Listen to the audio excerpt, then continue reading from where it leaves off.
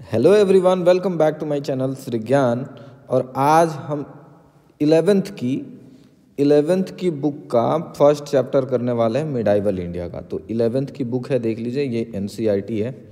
Okay तो चलिए शुरू करते हैं। फ़र्स्ट चैप्टर का नाम क्या है? The struggle of empire in north India और इसमें हम मैक्स मिनिमम क्या पढ़ने वाले हैं? मुगल्स एंड अफगान्स सो देखिए important changes took place in central and west Asia during the fifteen changes fifteen century में बहुत से इंपॉर्टेंट चेंजेस हुए कहाँ वेस्ट एशिया में.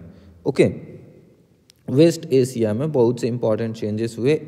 जब मंगोल एम्पायर बिखर गया डिसइंटीग्रेशन का मतलब है बिखर जाना तो जब मंगोल एम्पायर बिखर गया फोर्टीन सेंचुरी में, तब तैमूर ने फिर से ईरान और तुरान को एक साथ किया।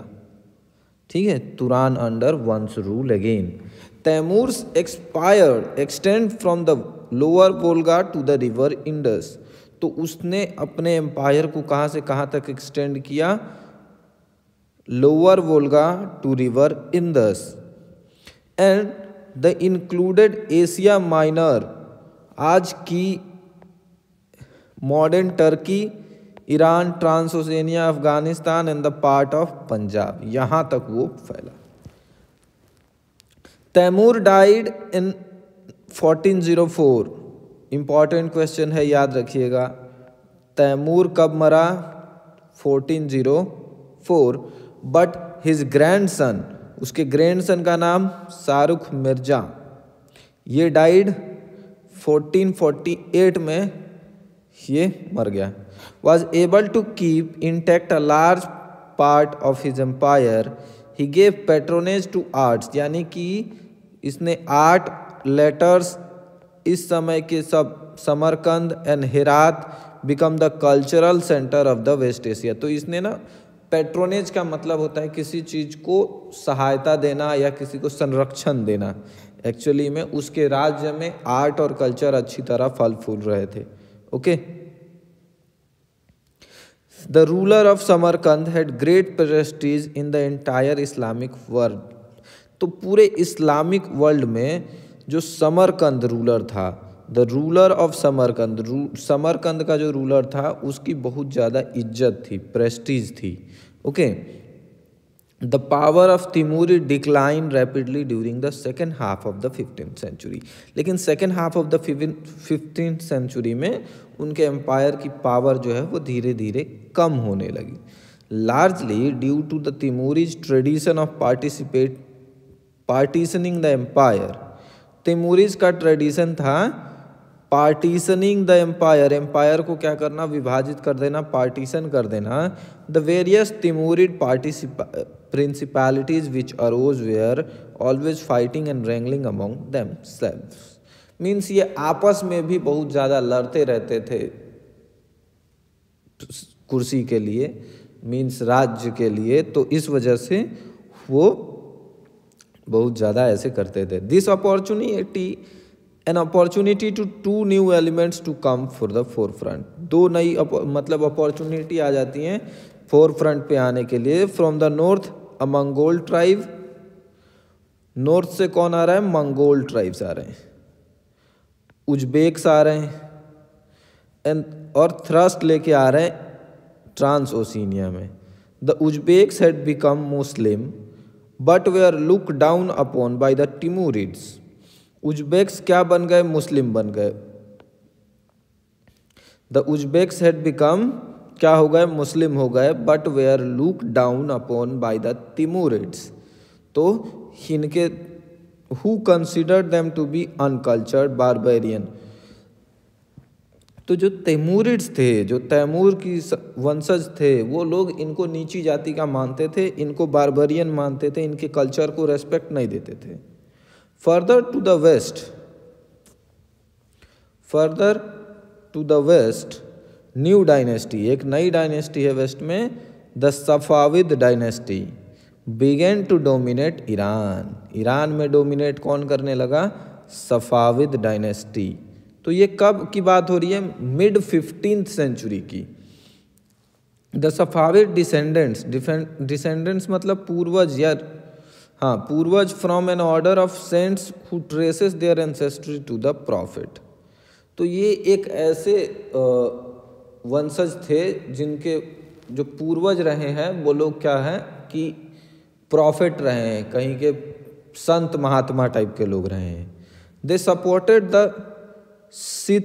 sect among the Muslim and persecuted those who were not prepared to accept the सीते tenets. तो सीते टेनेट्स को जो लोग एक्सेप्ट नहीं करते थे, उनको ये लोग मार देते थे। ठीक है? The Uzbeks on the other hand were Sunnis तो देखो, मुस्लिमों में दो तरह के लोग होते हैं, एक होते हैं सिया, एक होते हैं सुन्नी। और इनकी भी आपस में पटती नहीं है। ठीक है? तो दो Uzbeks on the other hand, Uzbeks क्या थे? सुन्नीज थे। ठीक है? मुस्लिमों में दो तरह के लोग होते हैं, सिया और सुन्नी। और इसमें से उज्बेक्स कौन से थे? सुन्नी थे। This political conflict between these two elements were embittered by sectarian conflict. तो सेक्टेरियन कॉन्फ्लिक्ट की वजह से इन दोनों के बीच में पॉलिटिकल कॉन्फ्लिक्ट का मतलब है पॉलिटिकल मतभेद हो जाना। ठीक है? To the west of Iran the power of Ottoman Turk was rising इसी समय ऑटोमन टर्क का पावर बहुत बढ़ रहा था। They wanted to dominate east Europe ये चाहते थे कि ये ईस्टर्न यूरोप में डोमिनेट करें, राज्य करें, राज करें as well as Iraq and Iran में भी चाहते थे। Thus the scene was set for the conflict of three mighty empires in Asia during the sixteen century तो एशिया में तीन अम्पायर्स थ्री माइटी एम्पायर्स तीन साम्राज्य शुरू हो रहे हैं और आपस में कन्फ्लिक्ट्स भी है। तो कौन से तीन हो गए? एक उज्बेक्स राइट एक तो उज्बेक्स हो गए, एक टर्किस हो गए सॉरी हाँ तुर्क की फैमिली वाले हो गए, और तीसरा कौन हो गया? ऑटोमन हो गया राइट क्योंकि देखो, एक यहाँ ऑटोमन तुर्क आ रहा है एक यहाँ पे आ रहे हैं, ठीक है, और एक उज्बेक्स आ रहे हैं। ये तीनों ही यहाँ डोमिनेट कर रहे हैं। In 1494 at the young age of 14 1494 में 1494 में एकदम 14 साल का लड़का बाबर सक्सीडेड टू फरगना यहाँ पर सक्सेस हो जाता है। कहाँ? फरगना में। A small set in Transoxania तो ट्रांस ओसिनिया में एक बहुत ही छोटा सा राज्य है और वहाँ ये राजा बनता है। Oblivious of the Uzbek danger, the Timurid princes were fighting one another.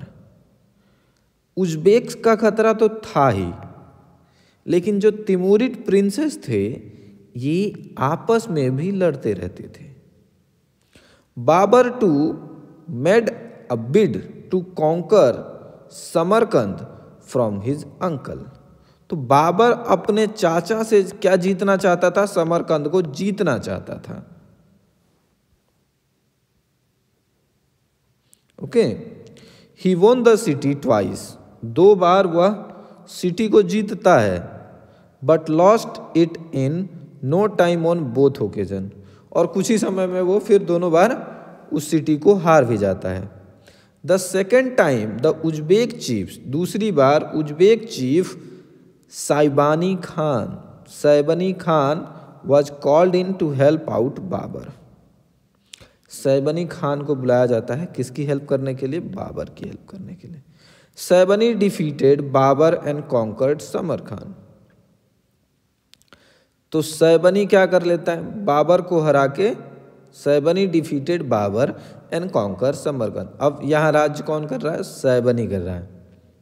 Soon he over run the rest of the Timurid kingdom in the area और बहुत ही जल्द पूरे तैमूरिड किंगडम पे राज कर लेता है।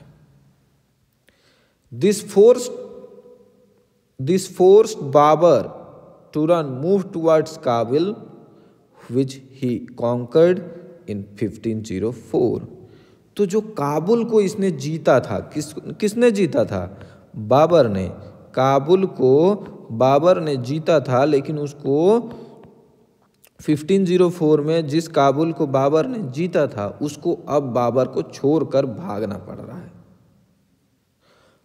और आगे आने वाले 14 इयर्स आगे आने वाले 14 years kept bidding his time for the request of his homeland from the Uzbeks. और 14 सालों तक ये पूरी कोशिश करता है, जी जान लगाता है कि अपनी होमलैंड जो ये हार गया है, उसे फिर से वापस जीत ले। He try to enlist the help of his uncle ये चाहता है कि अपने अंकल की हेल्प करें।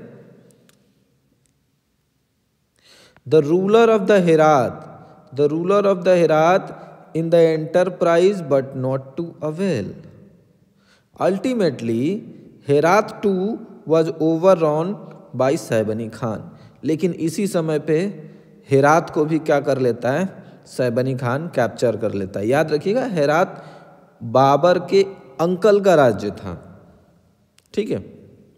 This led to a direct conflict between the Uzbeks and the Safavids since the latter also laid claim to Herat.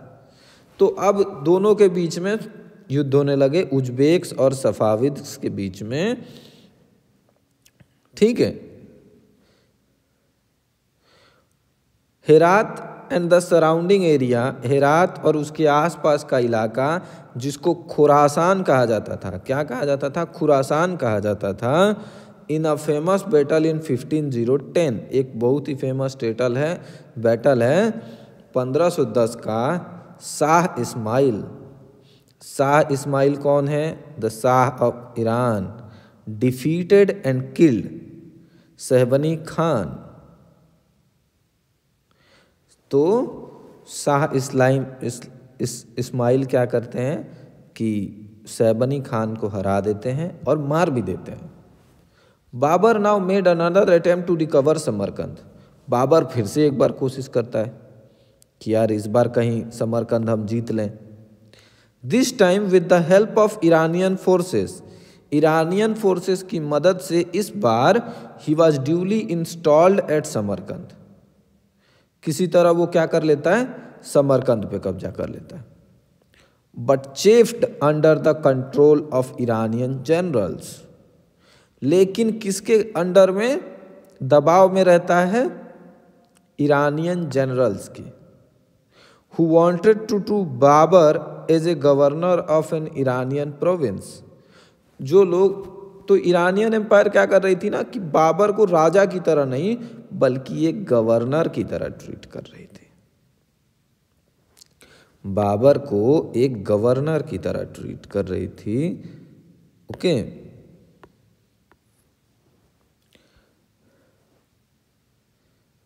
Rather than as an independent prince उसको independent prince नहीं मान रही थी। ठीक है?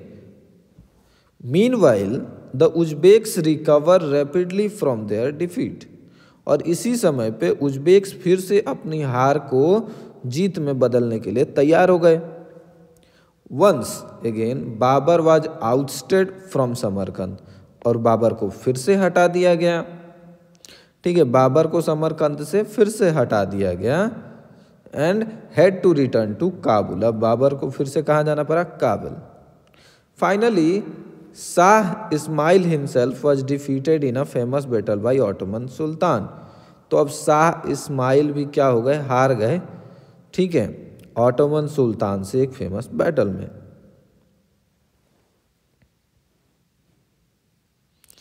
This development finally force Babur to look towards India और यही कुछ कारण है जिसकी वजह से बाबर को क्या करना पड़ता है?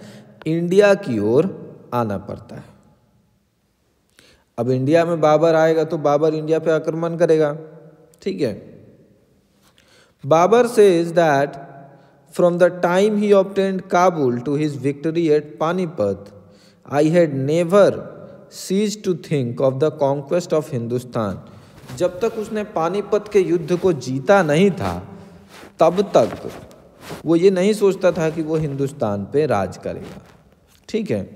But he had never found a suitable opportunity for undertaking it लेकिन उसे एक सूटेबल अपॉर्चुनिटी मौका नहीं मिला था undertaking it hundred hindered as I was sometime by the apprehension of my bags, sometime by the disagreement between my brother and myself. कुछ समय इसका दिक्कत ये भी थी कि मेरे और मेरे भाई के बीच में नहीं बनी disagreement like countless earlier invaders from Central Asia countless यानी कि अनगिनत आक्रमण इन्वेडर्स आक्रमणकारी आए सेंट्रल एशिया से Babur was drawn to India by the lure of its fabulous wealth. Babur was drawn to India by the lure of its fabulous wealth. ठीक है बाबर जो है इंडिया की धन संपत्ति को देखकर बहुत ज़्यादा आकर्षित था और इसीलिए वो इंडिया ठीक है India was the land of gold आप तो जानते ही हैं कि इंडिया को सोने की चिड़िया कहा जाता था। ठीक है? बाबर सेंसेस्टर, यानी कि बाबर के जो पूर्वज थे, Timur had not only carried away a vast treasures and many skillful artisans मतलब बाबर के जो पूर्वज थे, तैमूर वगैरह, उन्होंने ना बहुत सारा संपत्ति तो लूट के लेके गए ही थे इंडिया से। साथ ही बहुत से आर्टिस्ट भी लूट के ले आर्टिस्ट को भी लेकर गए थे स्किलफुल आर्टिस्ट्स को लेकर गए थे। जिन्होंने बहुत ज़्यादा हेल्प की। एशियन एम्पायर को खूबसूरत बनाने में। Okay? But also annex some areas in the Punjab तो बाबर ने कुछ एरिया क्या किया था? पंजाब का एनेक्स किया था, हड़प लिया था या कब्जा कर लिया था। This area remain in the position of Timur successor for several generations और ये इलाके तैमूर के ही पूर्वजों के लिए कई जनरेशन तक, कई पुश्तों तक चलते रहे। When Babur conquered Afghanistan when Babur conquer Afghanistan he felt that he had to legitimate rights to these areas means जब बाबर पाकिस्तान अफ़गानिस्तान में रूल करने लग गया तो उसे लगा कि पंजाब के जो इलाके जिस, जहाँ हम ऑलरेडी जीत चुके हैं, जहाँ हमारे पूर्वज उसको कब्जा कर चुके हैं, उस इलाकों पर भी हमारा हक है। Another reason why Babur cover coveted the Punjab parganas was the meagre income of Kabul तो काबुल की जो इनकम थी, वो बहुत कम थी। ये भी एक रीज़न रहा है कि पंजाब को उन्होंने कब्जा किया।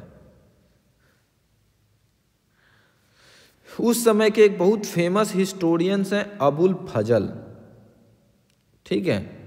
वो कहते हैं he ruled over Badakhshan Kandahar and Kabul which did not yield sufficiently income for the requirement of the army Abul Fazl कहता है कि बाबर कहाँ कहाँ रूल कर रहा था? बदख्शान, कंधार और काबुल। और ये तीनों ही जगह सफिशियंटली ईल्ड नहीं कर रहे थे, इतना पैसा नहीं जनरेट कर रहे थे, जिससे कि इसके आर्मी की ज़रूरतों को पूरा किया जा सके। In fact in some of the border territories the expense of controlling the army and administration was greater than the income कई ऐसे बॉर्डर इलाके थे जहाँ जितना इनकम होता था, उससे ज़्यादा तो आर्मी पे खर्च हो जाता था। With this meagre resource Babur could not provide well for his begs and kinsmans तो इस वजह से बाबर जो है, अपने लोगों को, रिश्तेदारों को या फिर जो काम करने वाले थे, उनको बहुत अच्छा पे नहीं कर पा रहा He was also apprehensive at the Uzbek attack on Kabul. He was also apprehensive of an Uzbek attack on Kabul and consider India to be a good place of refugee. तो उसे लगा कि अब इंडिया एक बहुत अच्छी जगह है रहने के लिए and a suitable base for operation against Uzbeks और एक बहुत ही सूटेबल जगह है क्या करने के लिए उज्बेक्स को लड़ने के लिए ऑपरेशंस करने के लिए, बनाने के लिए, ठीक है? The political situation in north west India was suitable for Babur's entry into India क्यों? क्योंकि बाबर के आने से पहले भी इंडिया में ना आपस में बहुत ज़्यादा लड़ाई चलती रहती थी। ठीक है? तो ये बहुत ही अच्छा मौका था कि वो बाबर इंडिया में आ सके। सिकंदर लोधी ने डाइड इन 1570 सिकंदर लोधी कब मर गया? 1517 में and Ibrahim Lodhi had succeeded him और उसके बाद कौन बना? इब्राहिम लोधी ने सक्सीड किया।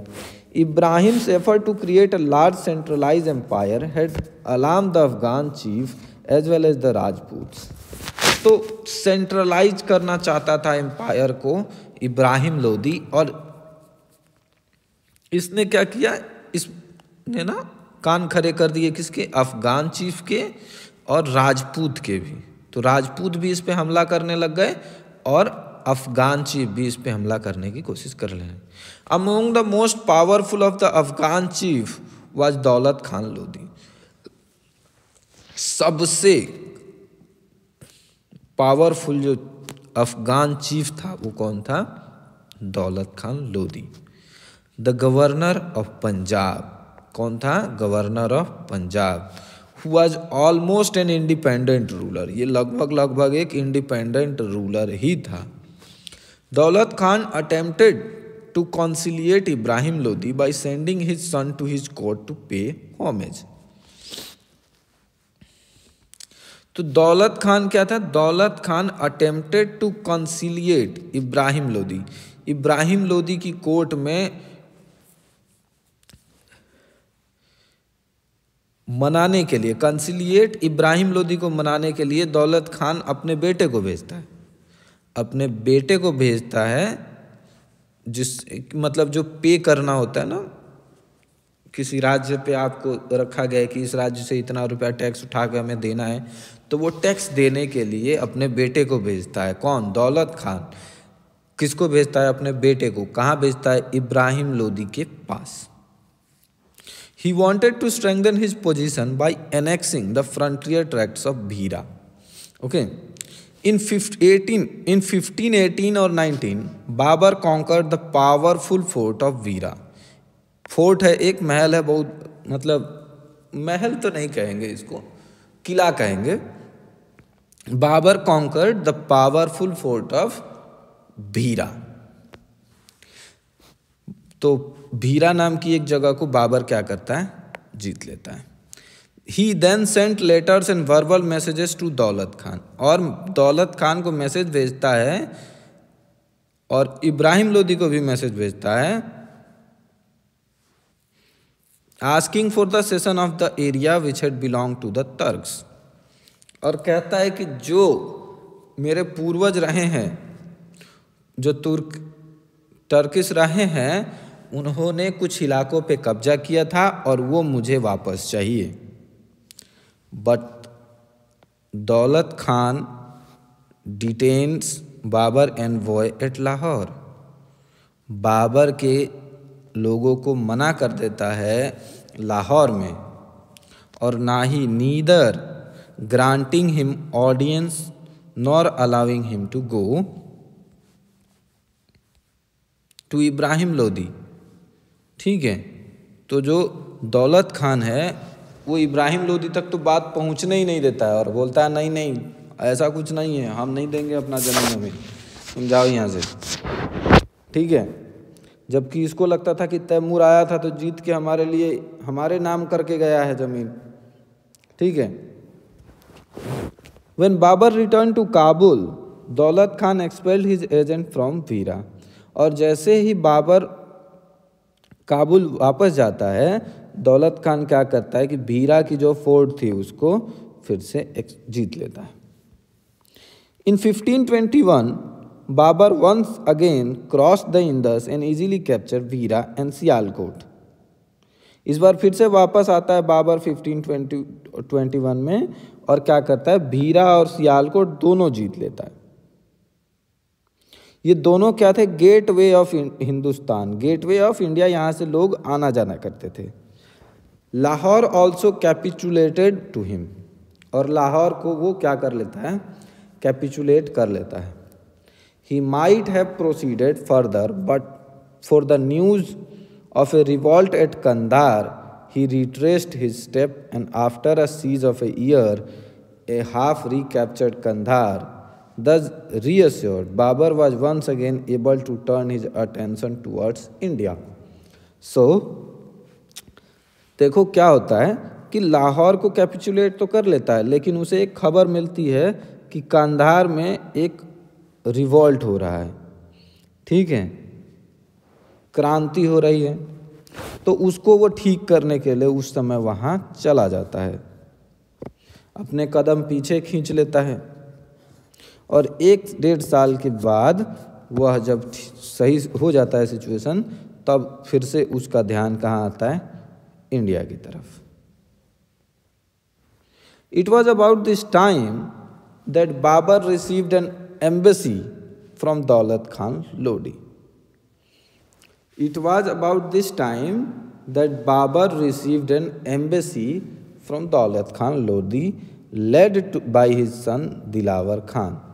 तो दौलत खान के बेटे का नाम क्या था? दिलावर खान। दौलत खान के बेटे का नाम क्या था? दिलावर खान और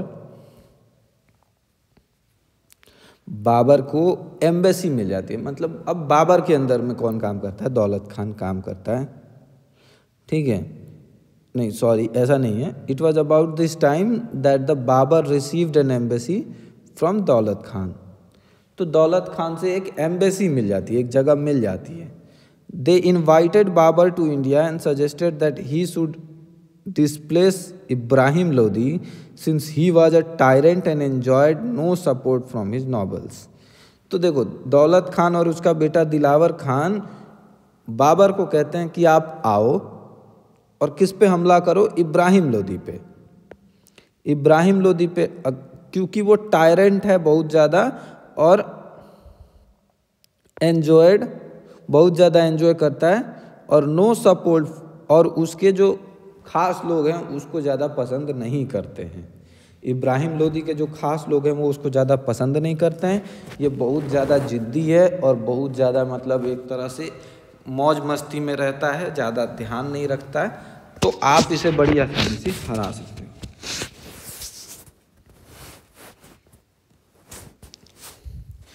it is probable that a messenger from Rana Sanga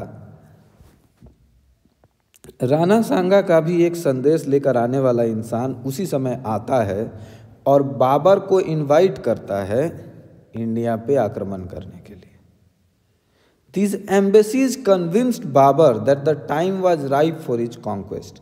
और इन्हीं सब बातों की वजह से उसको लगता है, बाबर को लगता है कि यही सही समय है हमला करने के लिए। और वो क्या करता है? पूरे पंजाब को कैप्चर कर लेता है। पूरे इंडिया को तो नहीं कर सकता, लेकिन पूरे पंजाब को कर लेता है। In 1525 while Babur was at Peshawar, Babur अभी 1525 में बाबर कहाँ है? पेशावर में। He receive the news that Daulat Khan Lodi had change side again लेकिन उसको पता चलता है कि दौलत खान ने फिर से अपनी साइड बदल दी है और फिर से किसके साथ चला गया? इब्राहिम लोधी के साथ। He had collected an army of thirty thousand to forty thousand man वो एक कितने लोगों की आर्मी बना रहा है? तेईस से चालीस हज़ार लोगों की। Ousted Babur's man from Sialkot Babur की आर्मी को बाहर निकाल देता है। कहाँ से? सियालकोट से। And was marching on Lahore और लाहौर की ओर मार्च कर रहा है। At Babur's approach the army of Daulat Khan melted away और बाबर के आने की वजह से दौलत खान की आर्मी बिखर जाती है। Daulat Khan submitted and was pardoned Daulat Khan फिर से हथियार त्याग देता है और माफ़ी माँगता है। Thus within three weeks of crossing the Indus Babur became the master of Punjab और तीन वीक्स के भीतर भीतर मालिक बन जाता है बाबर पंजाब का। Okay now the story of the battle of Panipat कब होता है? फ़र्स्ट है ये। 20 April 1526 a conflict with Ibrahim Lodi the ruler of Delhi उस समय रूलर कौन था? इब्राहिम लोदी ठीक है? Was inevitable and Babur prepared for marching towards Delhi और अब बाबर कहाँ मार्च कर रहा है? दिल्ली की ओर। Ibrahim Lodhi met Babur at Panipat Panipat का मैदान ना बहुत खुला हुआ था। वो जगह ऐसी थी जहाँ युद्ध किया जा सके। तो ये खास बात थी। Ibrahim Lodhi met Babur at Panipat with a force estimated इसके पास जो फोर्स थी, उसमें एक लाख लोग थे। वन लाख मैन एक हज़ार हाथी थे। Since the Indian army generally contain large hordes of servants तो एक बहुत बड़े नौकरों का जत्था भी रहता था इंडियन आर्मी के साथ। The fighting man The fighting man on Ibrahim Lodi side must have been for less than this figure. तो इब्राहिम लोदी के साथ की तरफ़ से बहुत ज़्यादा फिगर ऐसी नहीं थी। Babur had cross the Indus with a force of twelve thousand Babur के साथ जो फोर्स थी वो सिर्फ़ ट्वेल्व थाउज़ेंड की थी। But this had been swelled by his army in India and the large number of Hindustani nobles and soldiers who joined Babur in the Punjab. Even then, Babur's army was numerically inferior. Babur strengthened his position by resting one wing of his army in the city of Panipat, which had a large number of houses, and protected the large number of other by means of a ditch filled with branches of trees. In front, he lashed together a large number of carts to act as a defending walls. तो देखो actually क्या है? बाबर के पास ना इब्राहिम लोधी जितनी बड़ी सेना नहीं थी। इब्राहिम लोधी के पास एक लाख से बड़ी, एक लाख लोग तो सिर्फ़ सोल्जर्स थे। ठीक है ना? वैसे एक लाख लोगों में से ये कह रहे हैं कि कुछ जो सेना थी, वो उसके नौकर भी थे, सैनिकों के नौकर भी थे। जैसे मान लो कोई बहुत बड़ा सेनापति है। ठीक है तो सेनापति के दो चार नौकर हैं, उनका खाना वाना बनाना, घोड़े के ध्यान रखना, हाथी हैं, एक एक हज़ार हाथी हैं तो उनका भी ध्यान रखने के लिए नौकर भी होते थे। इस वजह से ये सेना इतनी बड़ी लग रही थी। बाबर के पास आर्मी सिर्फ़ बारह हज़ार की थी। जब इंदस रिवर को उसने क्रॉस किया तो बारह हज़ार की सेना लेके आया। लेकिन जब वो पाक, पंजाब में जीत लेता है तो पंजाब से बहुत सारे लोग उसके सोल्जर्स बन जाते हैं। ठीक है? Babur strengthen his position by resting one wing Babur अपनी पोजीशन को बचा के रखता है। बाबर क्या करता है कि पूरा एक सेटअप बना लेता है कि भाई, कहीं से भी पानीपत के युद्ध के समय पे ऐसा नहीं होना चाहिए कि पंजाब पे कोई हमला कर दे। है ना?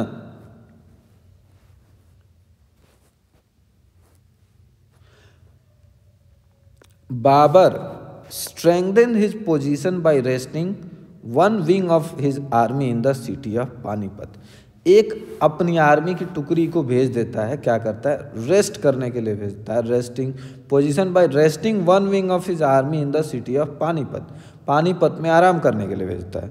विच has a La which had a large number of houses जिनके पास एक बहुत बड़ा घर का नंबर था।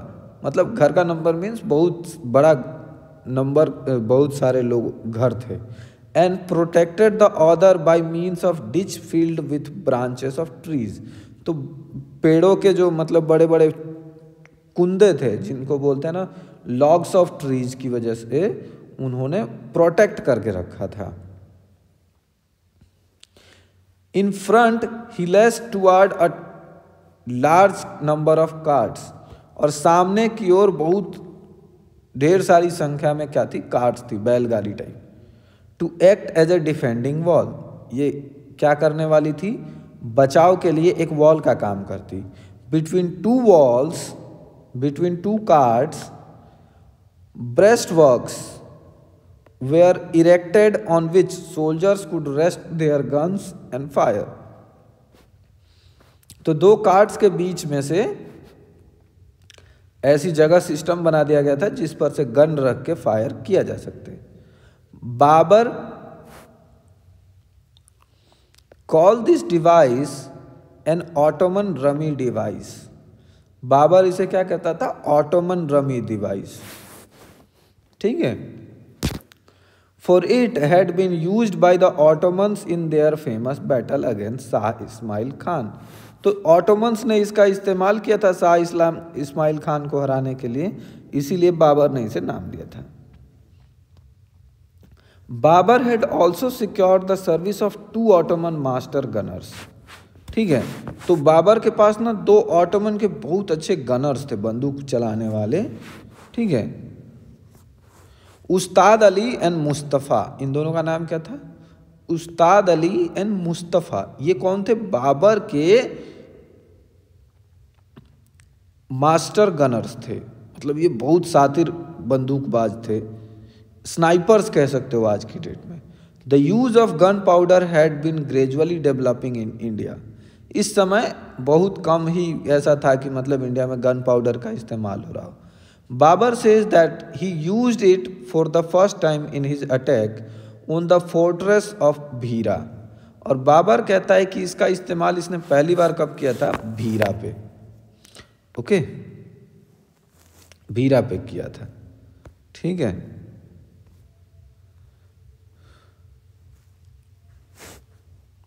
Ibrahim Lodhi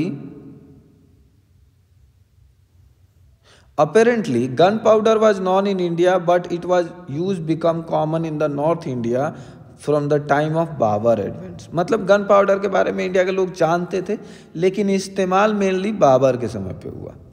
Ibrahim Lodhi had no idea of the strongly defended position of Babur Ibrahim Lodhi के बारे में आपको पहले ही पता होगा कि इब्राहिम लोधी कैसा था? जिद्दी था और बहुत ज़्यादा मौज मस्ती में रहने वाला इंसान था। तो इसने युद्ध पे ज़्यादा ध्यान नहीं दिया और बाबर की अच्छी बात यह थी कि ये बचपन से ही फोर्टीन ईयर्स की एज से ही सिर्फ़ युद्ध ही कर रहा था। तो इसको बहुत सारी स्ट्रेटेजी वगैरह बनाना और सेटिंग करना अच्छे से आ गया था। तो इतना सोचा नहीं था इब्राहिम लोदी ने कि भाई इतनी अच्छी पोजीशन होगी। He had apparently expected Babur to fight a mobile mode of warfare बहुत ही सोचा कि बहुत जल्दी युद्ध खत्म हो जाएगा। Which was usual with the Central Asian normally जैसा होता है। मेकिंग रेपिड एडवांस और retreating as the need arose after skirmishing for seven और एट डेज़ सात आठ दिन के बाद इब्राहिम लोदी की सेना came out for the fateful battle fateful battle के लिए बाहर आई। Seeing the strength of Babur's position they hesitated लेकिन बाबर की ताकत को देखकर बाबर की पोजीशन को देखकर ये हेजिटेट हो गए, घबरा गए। While Ibrahim was still reorganising his forces Babur जो सॉरी इब्राहिम फिर से अपनी फोर्सेस को क्या कर रहा है? रीऑर्गेनाइज कर रहा है। The two extreme wings of Babur army wheel round and attack Ibrahim Lodhi forces जब तक इब्राहिम लोधी अपनी फोर्सेस को मैनेज करता बाबर के दो विंग्स मान लो ये बाबर है ना तो बाबर की एक विंग इधर से, एक विंग इधर से जाके इसके फोर्स को अटैक कर देती है पीछे से। ठीक है? तो इसकी वजह से क्या होता है? Babur's gunner use their guns with good effect from the front और सामने से बाबर के बंदूकबाज बहुत ही निशानेबाज थे, बहुत ही अच्छे थे। ठीक है?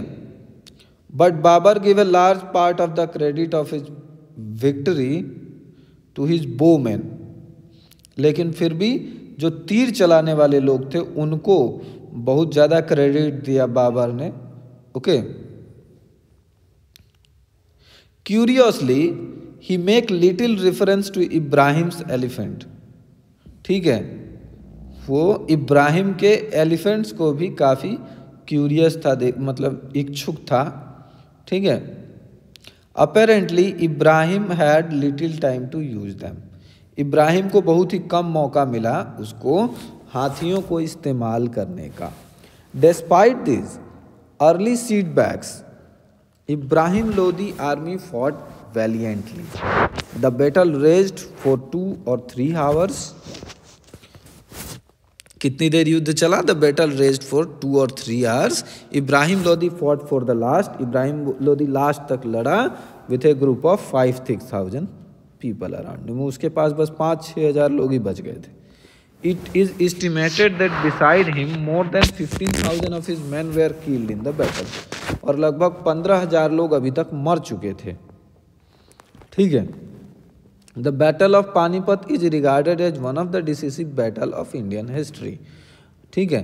तो पानीपत के इस युद्ध को बैटल ऑफ़ इंडियन हिस्ट्री में काफ़ी फ़ेमस माना जाता है। It broke the back of Lodis power Lodi के पावर को इसने तोड़ा and brought under Babur's control और बाबर का कंट्रोल आया इंडिया में। ठीक है?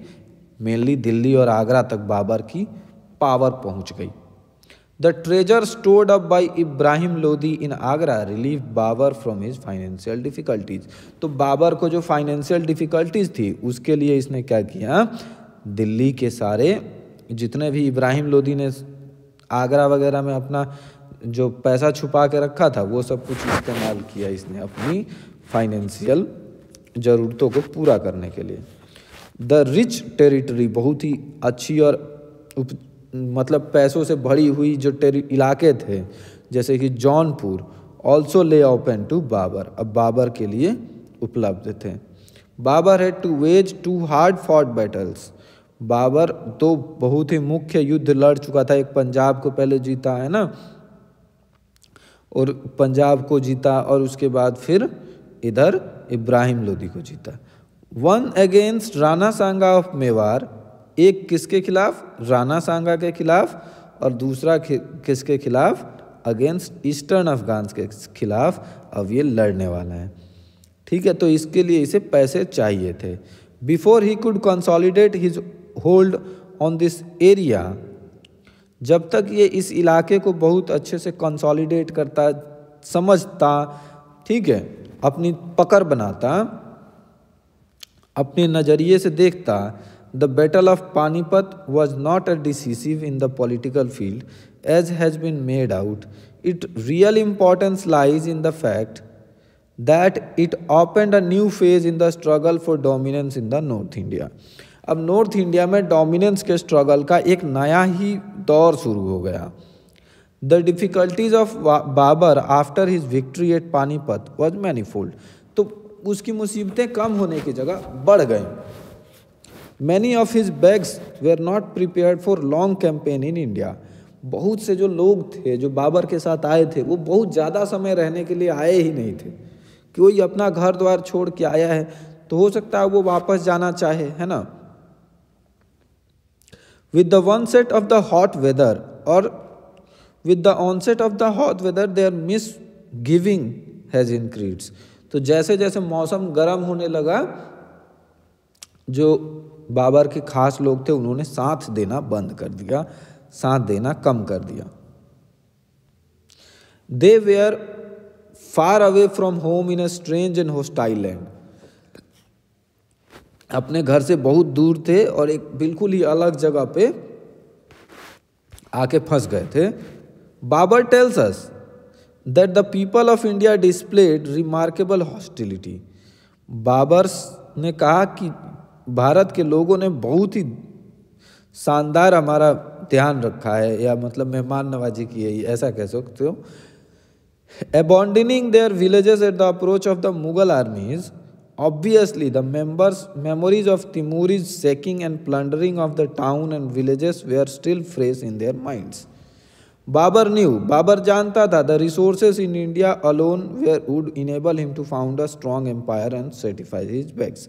तो बाबर को पता था कि अकेले इंडिया के पास इतना पैसा है कि उसकी एक बहुत ही ताकतवर साम्राज्य बनाने के लिए और उसके सारे खर्चों को उठाने के लिए पर्याप्त है not for not for poverty of Kabul again ठीक है, अब काबुल गरीब नहीं रहेगा।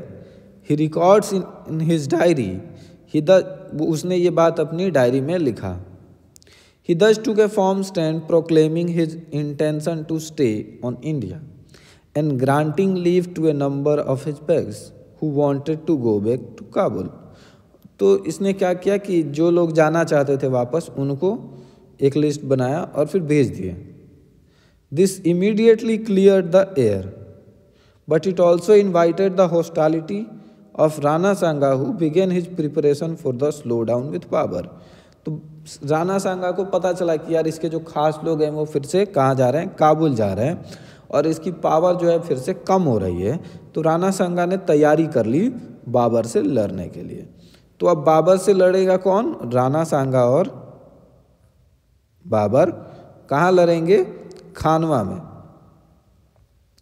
The growing conflict between Rana Sanga and Ibrahim Lodhi for the domination of eastern Rajasthan and Malwa has already been mentioned तो हम ये ऑलरेडी जानते हैं कि राणा सांगा और इब्राहिम लोधी के बीच में ईस्टर्न राजस्थान को लेकर और मालवा के लोगों, मालवा को लेकर क्या हो रहा है? विवाद हो रहा है, झगड़ा हो रहा है है ना? तो after defeating Mahmud Khalji of Malwa Malwa के महमूद खलजी को हरा के the influence of the Rana gradually extended up to Piliya Khar a small river in the neighbourhood of Agra. Agra के पास एक रिवर है पीलिया खार तक। किसका प्रभाव ज़्यादा पड़ने लग गया? राना का। ठीक है? पीलिया खार एक नदी है छोटी सी आगरा के पास। The establishment of an empire in the in the Indo Gangetic Gangetic valley by Babur was a threat to Rana Sanga ठीक है? अब इस्टेब्लिशमेंट ऑफ़ बाबर बाबर ने गैंगेटिक वैली तक में अपना कब्जा कर लिया तो राणा सांगा को एक डर बन गया। Sanga set an preparation afoot to expel Babur. Sanga ने तैयारी शुरू कर दी किसको बाहर खेदने के लिए? बाबर को किसी भी कीमत पे एट एनी रेट ठीक है। Babur accuses Rana Sanga of breach the agreement Babur ने राणा सांगा को जिम्मेदार ठहराया डांटा। ठीक है। कि सांगा ने क्या तोड़ा है? समझौता तोड़ा है, क्योंकि बाबर को राणा सांगा ही बुला के लाया था। He says that Sanga had invited him to India उसने कहा कि साना सांगा नहीं तो मुझे इंडिया में बुलाया है। And promise to join him against Ibrahim Lodhi और प्रॉमिस किया था कि जब मैं इब्राहिम लोधी से लड़ूँगा तो आप मेरा साथ देंगे। But made no move while he conquered Delhi and Agra.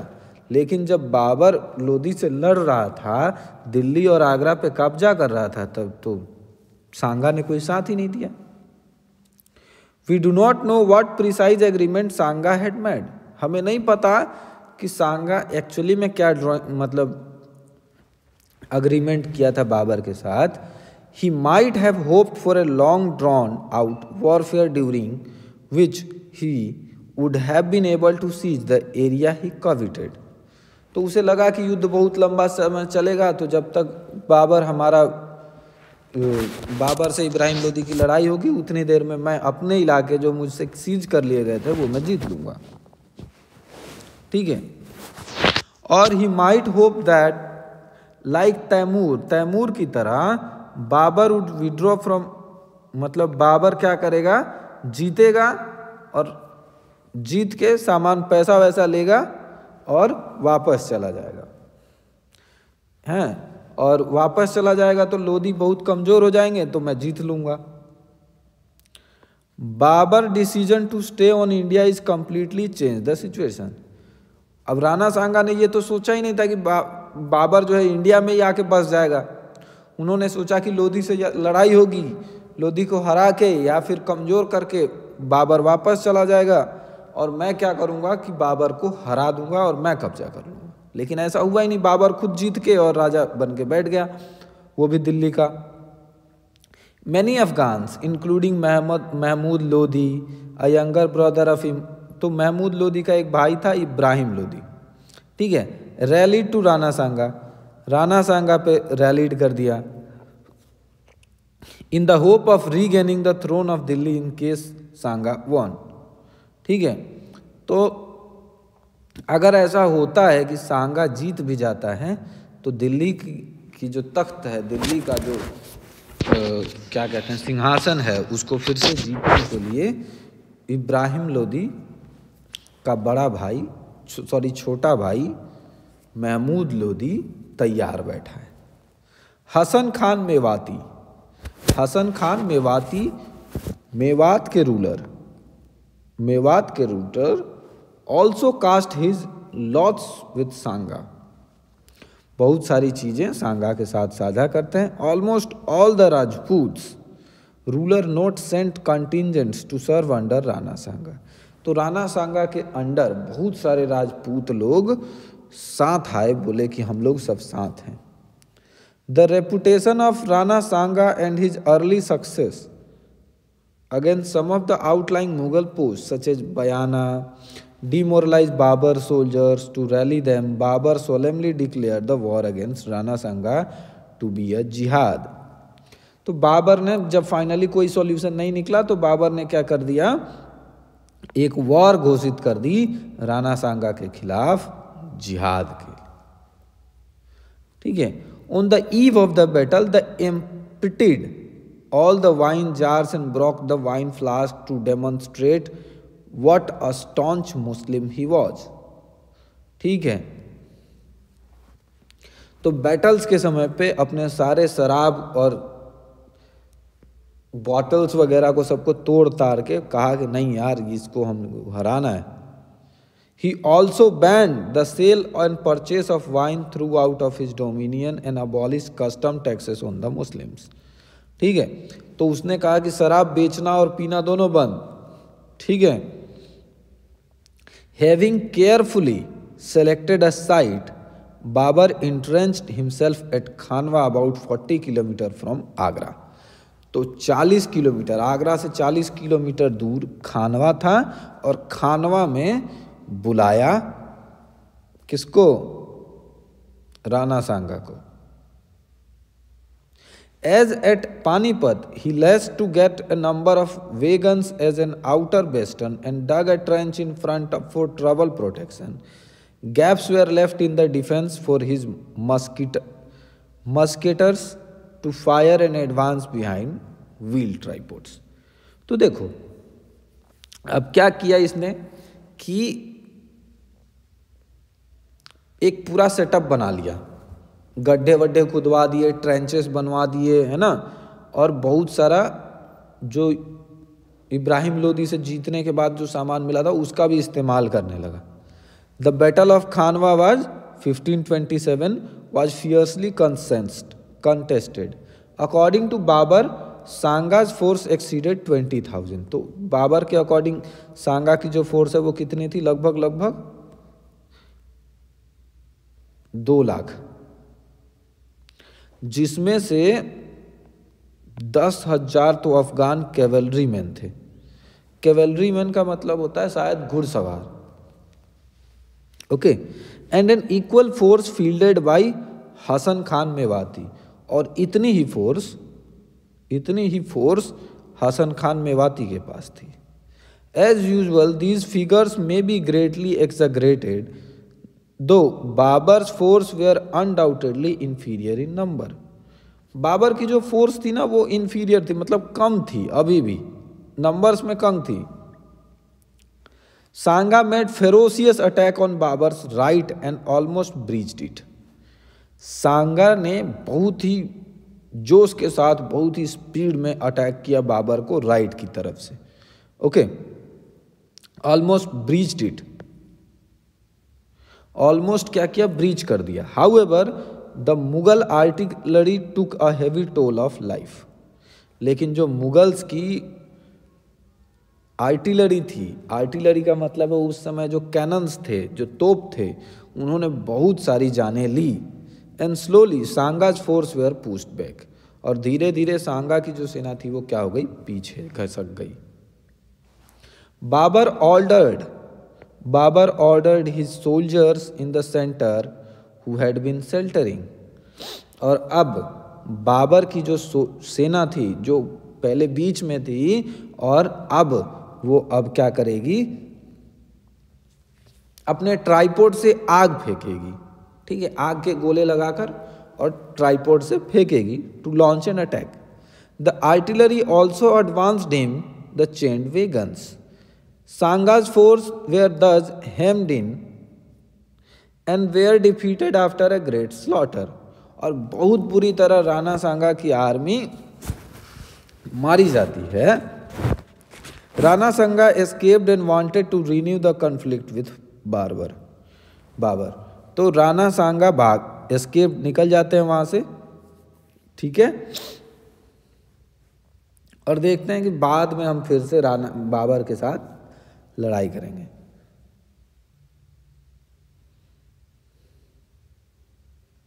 But he was poised by his own noble who considered such a curse to be dangerous and उसको ना मतलब अपने ही उसके जो शासक थे, राणा साका के जो साथ देने वाले लोग थे, उन्होंने कहा कि ये तो बहुत ही डेंजरस और सुसाइडल था, आपने जो किया अभी हमारे साथ, हम लोगों को यहाँ युद्ध में लेके आ गए, है ना?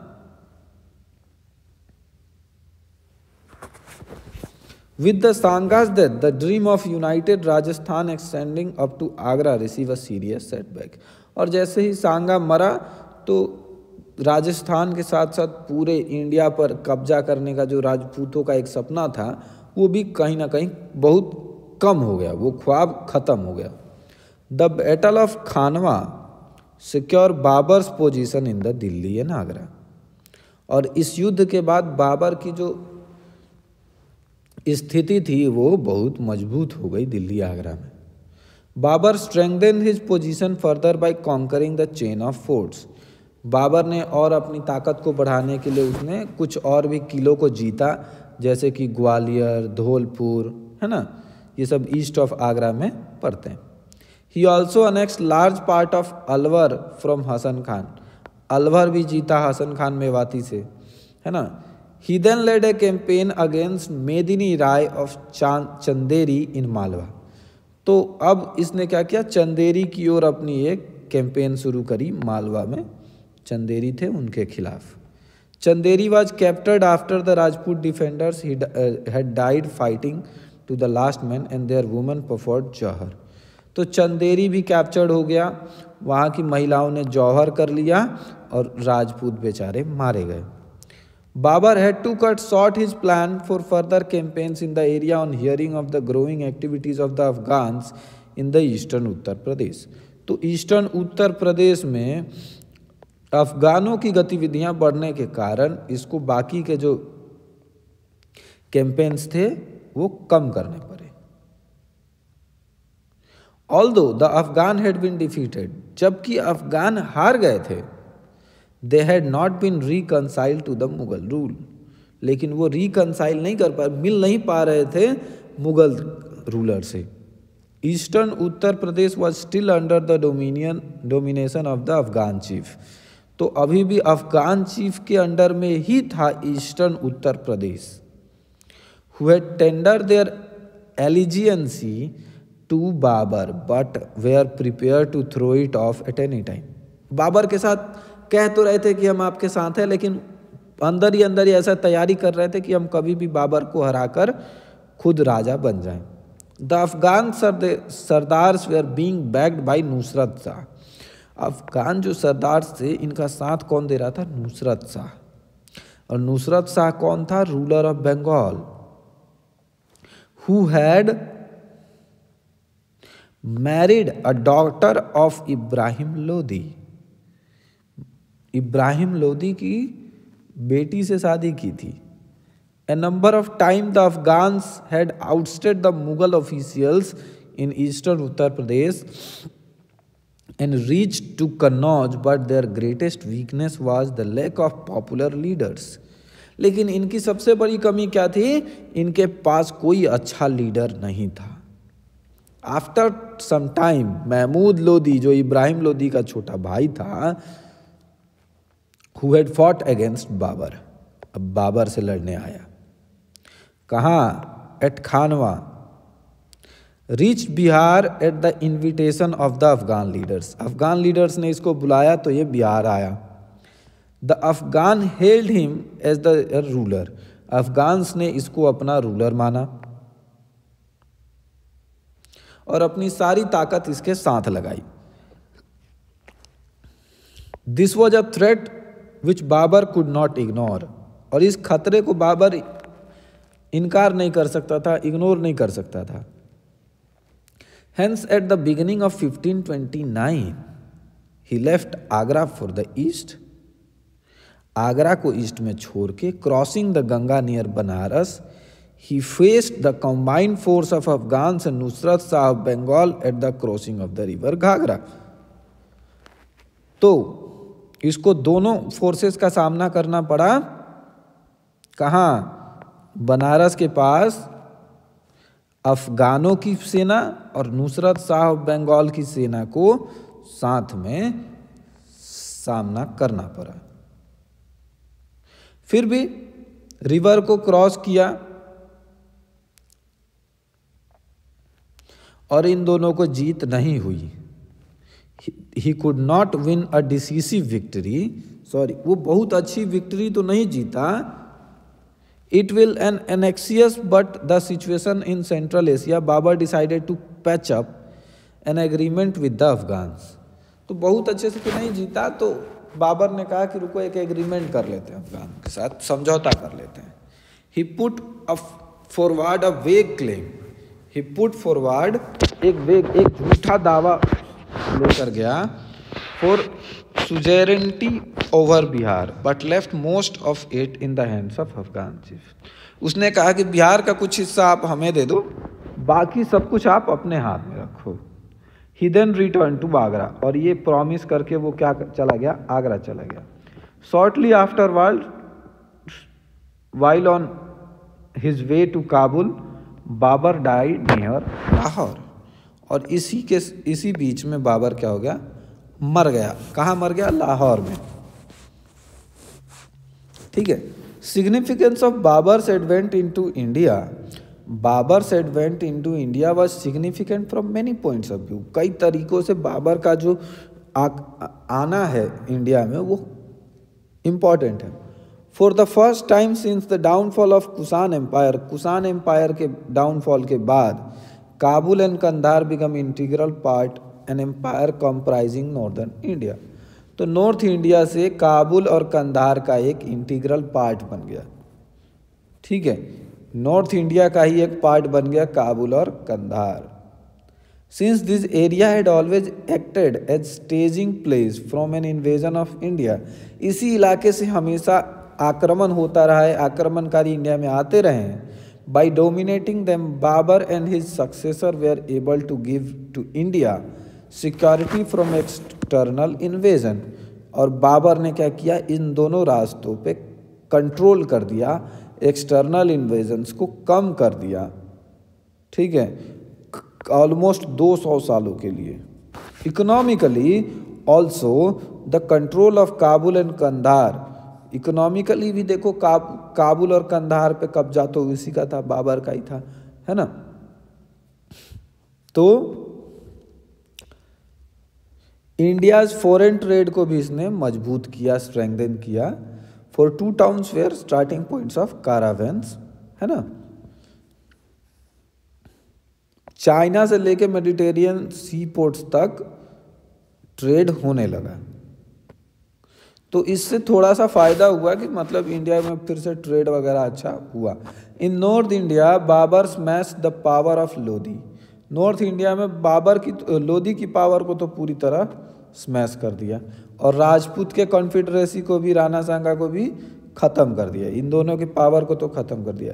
He destroyed the balance of power of training in the area ठीक है तो इन दोनों की जो पावर थी उसको ख़त्म कर दिया। This was a long step towards the establishment of all India empire तो अब एक ऑल इंडिया एम्पायर बनने की ओर युद्ध शुरू हो गया। However a number of condition had still to be fulfilled before this could be achieve Babar showed what a skilled combination of artillery and cavalry could achieve देखो, बाबर ने ये दिखाया कि तुम्हारे पास एक लाख, दो लाख की सेना होने से कोई फ़ायदा नहीं है। अगर तुम्हारे पास अच्छे तजुर्बेकार आर्टिलरी है तोप चलाने वाले हैं, घुड़सवार हैं, अच्छे बोमैन हैं मतलब तीरंदाज हैं तो आप बहुत जल्दी जीत सकते हो। और साथ ही साथ गन पाउडर एंड आर्टिलरी को बहुत ज़्यादा फ़ेमस किया इसने बाबर ने, है ना?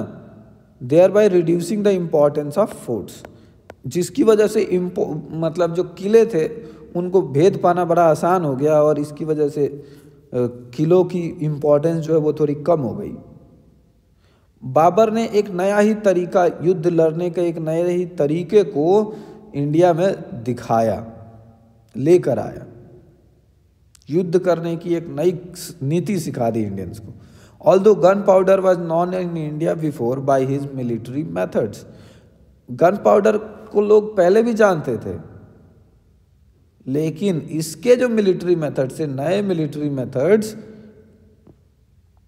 Babar reestablish the prestige of the crown which had been eroded since the death of Firoz Tughlaq तो फिरोज तुगलक के बाद जो क्राउन की हालत थी, उसको फिर से इसने मज़बूत किया।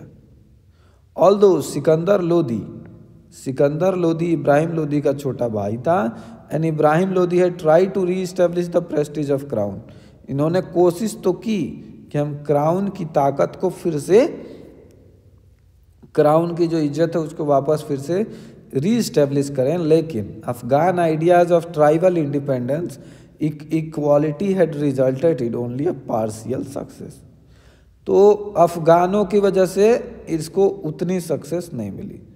Babar had the prestige of being a descendant of two और the most famous warriors of Asia तो देखो, बाबर एक्चुअली में ना चंगेज खान और तैमूर मतलब मम्मी इसकी चंगेज खान की तरफ़ से थी और पिता इसके तैमूर खान की तरफ़ से थे। तो दो फ़ेमस वॉरियर्स ऑफ़ एशिया के ये थे एंसेस्टर्स थे। एक तरह से कह सकते हो आप एंसेस्टर्स तो नहीं कह सकते मतलब इनके सपूत थे, बच्चे थे। तो इस वजह से हाँ none of his nobles could therefore claim a status of equality with him और एस्पायर टू हिज ट्रोन उसके बाद इसका कोई रिश्तेदार नहीं आया क्लेम करने की, ये हमारे पप्पा की जब संपत्ति है। The challenge to his position if any could come only from a Timurid prince अगर कोई तिमूरिड प्रिंस आता तो चैलेंज करता। Babar endeared himself to his begs by the personal qualities. He was always prepared to share the hardship with his soldiers. वो अपने soldiers के साथ साथ देने के लिए हमेशा तैयार रहता था once at the height of winter Babar was returning to Kabul the snow was so deep that horse could sink into it and parties of soldiers had to trample the snow so that the horses could pass तो एक बार की बात है कि काबुल, बाबर काबुल जा रहा था। ठीक है? बाबर जो है, वो काबुल जा रहा था। और बर्फ़ इतनी ज़्यादा थी कि घोड़े डूब रहे थे। घोड़े डूब जा मतलब घोड़े धस जा रहे थे। ठीक है? और किसी ना किसी तरह सोल्जर्स को पार करना था। विदाउट हेजिटेशन बिना किसी हिचकिचाहट के, Babar join the back breaking task और बाबर ने पूरी जी जान लगाकर सैनिकों का साथ दिया हर कदम पे at every step the snow came up to the waist और the chest he says after a few steps the man in front would be exhausted and another would take his place तो जैसे ही पूरी तरह इंसान थक जाते थे तो एक के जगह दूसरी जगह लेते रहते थे और इस तरह से उन्होंने एक सोल्जर बन के अपने सोल्जरों का हौसला, हौसले को बढ़ाया और अपनी आर्मी का साथ दिया, है ना?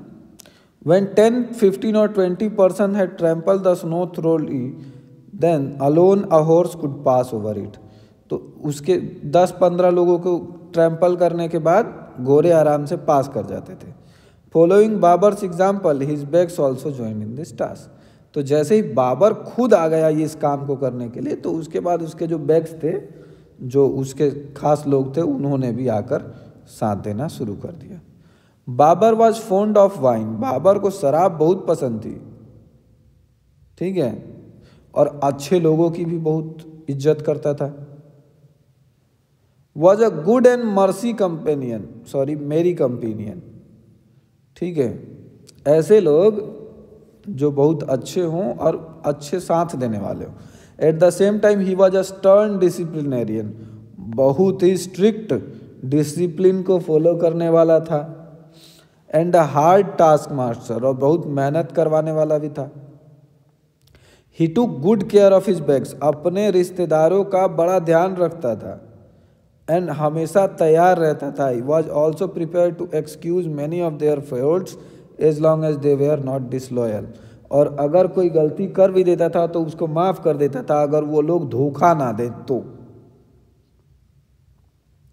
He was prepared to adopt the same attitude toward his Afghan and Indian nobles और इंडियन नोबल्स थे, या अफगान थे, उनके साथ भी ऐसा ही व्यवहार इसने रखा था। However he died he did have a break streak of cruelty देखो, उसने क्रुएल्टी भी की है, क्रूरता भी की है, लोगों को मारा भी है।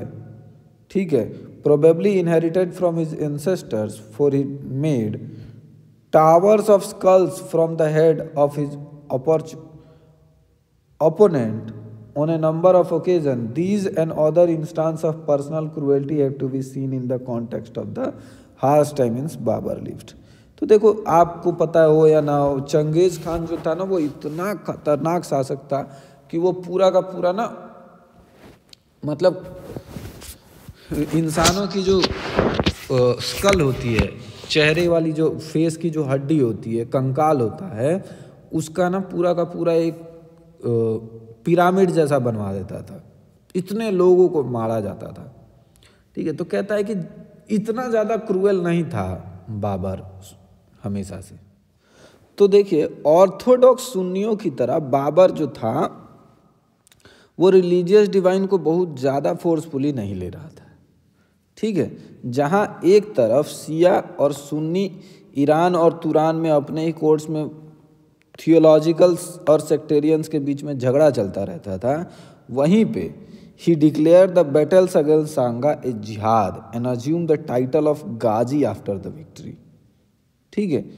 तो एक टाइटल लिया बाबर ने, गाजी का। किसके साथ जीतने के बाद? राणा सांगा के साथ जीतने के बाद। और इस युद्ध को क्या कहा? जिहाद। ठीक है? क्या कहा? जिहाद। तो तो वो मतलब ऑर्थोडॉक्स नहीं था। ऑर्थोडॉक्स का मतलब है, अपने धर्म से बहुत ज़्यादा चिपका हुआ नहीं था। The reasons were politically clear. Though it was a period of war, only a few instances can be found of destruction of temples. युद्ध का समय तो था लेकिन इस समय पे भी इसने बहुत कम मंदिरों को डिस्ट्रक्ट किया होगा बहुत तोड़ा होगा ना तो बहुत कम मंदिरों को नुकसान पहुँचाया ऐसा माना जाता है Babur was deeply learn in Persian and Arabic and is regarded as one of the two most famous writers in the Turkish language which has his mother tongue तो बाबर जो था, वो बहुत ही डीपली पढ़ा हुआ था किन दो लैंग्वेजेस में पर्सियन और अरेबिक ठीक है? टर्किश लैंग्वेज के बारे में भी इसे बहुत अच्छी नॉलेज थी, क्योंकि ये इसका मदर टंग था, है ना? As a prose writer had no equal and his famous memories the Tuzuke Baburi Babur के बारे में एक बायोग्राफी है Tuzuke Baburi is consider one of the classical world literature ठीक है तो एक क्लासिक वर्ल्ड लिटरेचर के ना, हिसाब से माना जाता है। His other word include a masnavi and Turkish translation of well known Sufi work इसका, है ना? तो इसी का एक और है मसनवी और सूफी वर्क का एक खास टर्किश ट्रांसलेशन है, ये दोनों काफ़ी फ़ेमस है। He was touch with the famous poets and artist of the time वो फ़ेमस पोएट्स और आर्टिस्ट से काफ़ी जुड़ा रहता था और उनके काम को भी देखता रहता था। He was keen naturalist keen naturalist ठीक है? And describe the flora and fauna of India in considerable details तो जो भारत में पाए जाने वाले पेड़ पौधे थे, इसकी बहुत डिटेल में कंसिडरेबली डिटेल में बताया है इसने, है ना? Thus Babur introduce a new concept of the state which was to be based on the strength and prestige of the crown absence of religious and sectarian bigotry and the careful fostering of culture and fine arts, he does provide a precedent and direction of his successors. तो अपने प्रिसेंडेंट्स और successors को एक बहुत ही अच्छा रास्ता दिखाकर गया। Humayun's conquest of Gujarat and his tussle with Sher Shah. तो शेरशाह और हुमायूं का जो कॉन्क्वेस्ट है गुजरात के साथ वो देखते हैं। Humayun succeeded Babur in December 1538 at young age of 23 तो बाबर के बाद राजा कौन बना? Humayun. Right the grapple with the number of problems left behind by Babur's कुछ ऐसे प्रॉब्लम्स थे जो बाबर के जाने के बाद भी थे। The administration had not yet been consolidated and the finance were precarious तो फाइनेंस की हालत बहुत अच्छी नहीं थी क्योंकि बहुत सारे युद्ध किए थे बाबर ने, है ना? और इसको काबुल और अफगान वगैरह को भी मेंटेन करना था। The Afghan had not been subdued Afghans भी साथ नहीं दे रहे थे। मुगल्स को हटाने की कोशिश में लगे रहते थे। Finally there was a Timuri legacy of partitioning the empire among all brothers तो बाबर के बाद उसके जितने भी भाई वगैरह थे उनमें आपस में ही इस बात की जिद चिड़ गई छिड़ गई कि अब कैसे बंटवारा होगा एम्पायर का, है ना? Partitioning the empire Humayun to deal kindly with his brothers Humayun एकदम प्यार से डील करना चाहता था अपने ब्रदर्स के साथ. But had not favour the partitioning of the infant Mughal empire which would have been disastrous वो नहीं चाहता था कि मुगल एम्पर एम्पायर को पार्टीशन किया जाए, बांट दिया जाए अलग अलग टुकड़ों में। इन्फेंट इसलिए कह रहा है कि अभी अभी तो मुगल एम्पायर सही से ग्रो हुआ है ना? अभी ज़्यादा समय थोड़ी हुआ है। सिर्फ़ बाबर ही तो आया है मुगल एम्पायर से।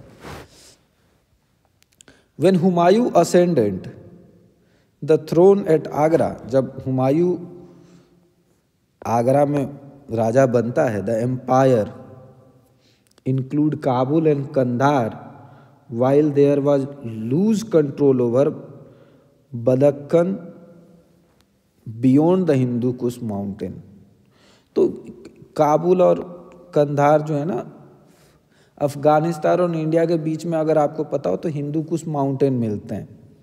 ठीक है तो यहाँ ना कंट्रोल कमज़ोर हो गया। जाने आने में भी उस समय बहुत ज़्यादा सुविधाएँ नहीं थी। तो ट्रांसपोर्ट का भी इशू था और इस वजह और राजा अगर यहाँ है तो उतनी दूर वहाँ कौन मेंटेन करेगा इस चक्कर में? कंट्रोल थोड़े से लूज हो गए। Kabul and Kandahar were under the charge of Humayun. Charge के हुमायूं के जो छो, छोटे भाई थे कामरान उनके कंट्रोल में था काबुल और कंधार। हुमायूं के छोटे भाई के। It was only the natural that they should remain in his charge और ये नेचुरल भी था। लेकिन कामरान सेटिस्फाइड नहीं था। क्योंकि आपको ऑलरेडी पता है, काबुल और कांधार की इकोनॉमिक स्थिति अच्छी नहीं थी, वहाँ पैसे बहुत ज़्यादा नहीं थे। He march on Lahore and Multan and occupied them उसने लाहौर और मुल्तान पे मार्च किया, चढ़ाई की और उसको जीत भी लिया। Humayun who was busy elsewhere Humayun कहीं और बिज़ी था and did not want to start a civil war और आपस में ही युद्ध नहीं करना चाहता था, आपस के युद्ध से बचना चाहता था। इसीलिए इसके पास कम ही मौका था, लेकिन मौका था क्या करने का कि चलो यार, छोटा भाई है, रख लेने दो, है ना? Kamran accepted the suzerainty of Humayun. तो कामरान ने भी मान लिया and promise to help whenever necessary तो अब बड़ा भाई था, इसने बोला कि चल तू रख ले तूने जीत लिया ना, रख ले। तो कामरान ने बोला कि ठीक है, आपकी ये अच्छी बात मुझे बहुत अच्छी लगी तो ये मैं वादा करता हूँ कि आपको जब ज़रूरत पड़ेगी तो हम आपको हेल्प करेंगे। Kamran action created the apprehension that the other brother of Humayun might also follow the same path तो कामरान का जो एक्शन था, उसने एप्रीहेंशन कर दिया कि चलो, मेरा जो भाई है, वो भी मेरे ही रास्तों पे चल रहा है। However granting of the Punjab and Multan to Kamran अब पंजाब और मुल्तान को ग्रांट कर दिया हुमायूं ने अपने छोटे भाई को। ठीक है was free to devote his attention to the eastern parts without having to brothers about his western frontier तो अब इसको लगा कि यार चलो, मेरा एक भाई है जो मेरा साथ भी देगा और ज़रूरत पड़ने पर वेस्टर्न फ्रंटियर की तरह काम भी करेगा। Apart from this Humayun had to deal with the rapid growth of the power of Afghan in the east और इस सब के बीच में हुमायूं को एक चीज़ से लड़ना था, क्योंकि अफगान्स की पावर बढ़ रही थी ईस्ट में। ठीक है? The growing sweep of conquest of Bahadur Shah the ruler of Gujarat Bahadur Shah कहाँ के रूलर थे? गुजरात के at the outset Humayun was incline to consider the Afghan danger to be more serious of the two तो बहादुर शाह से ज़्यादा Humayun sorry Afghan को danger माना। In 1532 at a place in 1532 at a place एक जगह है, Daura. He defeated the Afghan forces which had conquered Bihar and overran तो इन्होंने अफगान फोर्सेस ने जो कि बिहार को कब्जा कर रखा था, उसको जीत लिया। ठीक है? और जौनपुर, जो कि उत्तर प्रदेश में था, उसको भी जीत लिया। After this success Humayun besieges Chunar Chunar this powerful fort commanded the land and the river route between Agra and the east was known as the gateway of eastern India तो ईस्टर्न इंडिया का जो gate वे था, उसको safe कर लिया secure कर लिया।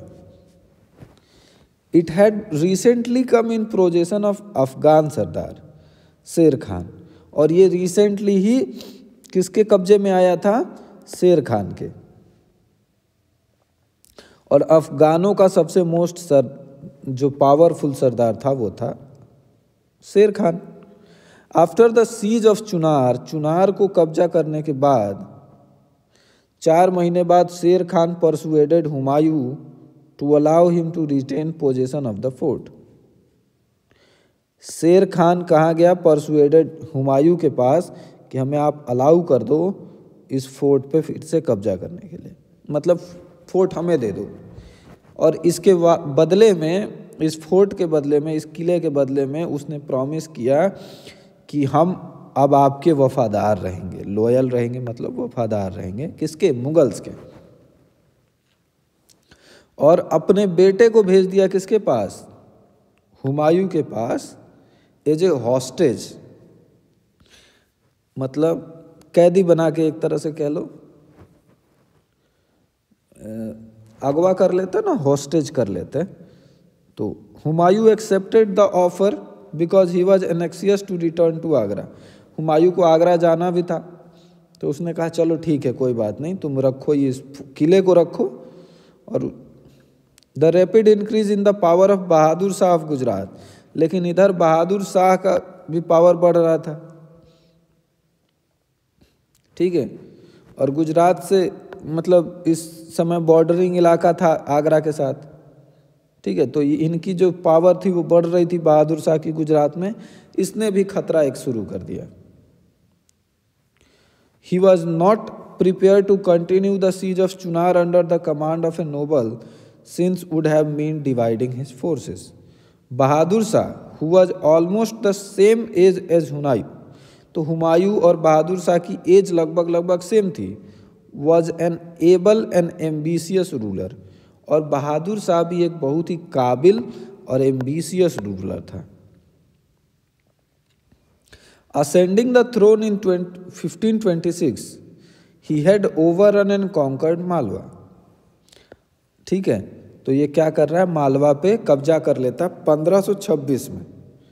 ठीक है He then returned to Rajasthan and besieged Chittor and soon reduced the Rajput defenders to sore straits. और राजस्थान, उसके बाद वो राजस्थान रिटर्न करते मुड़ते हैं और राजस्थान को भी सीज करते हैं चित्तौर को ठीक है according to some later legends कुछ शानदार लोगों के मतलब लेजेंड्स के आने के बाद Rani Karnavati, the widow of Rana Sanga.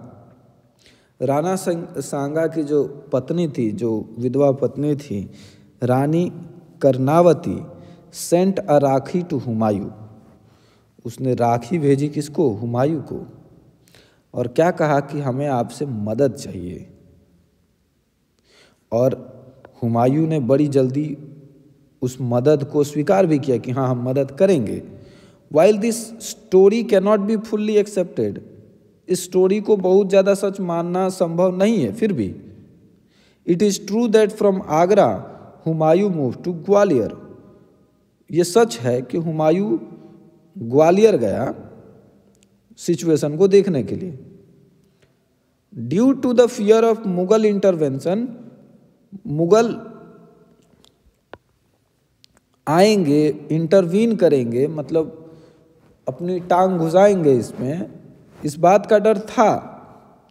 Bahadur Shah patched up a treaty with Rana Rana के साथ बहादुर शाह ने एक ट्रीटी कर ली थी, समझौता कर लिया था, संधि कर ली थी leaving the fort in his hand after extracting large indemnity in cash and kind तो कहा कि अगर हम जीत गए तो ये फिर से आपके हाथ में दे देंगे, लेकिन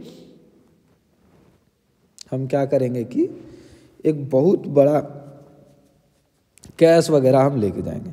During the next year and half Humayun spent his time in building a new city near Delhi इसके बाद लगभग एक डेढ़ महीने तक, एक डेढ़ साल तक हुमायूं अपना पूरा समय एक नई सिटी को बसाने में लगाता है, दिल्ली के पास।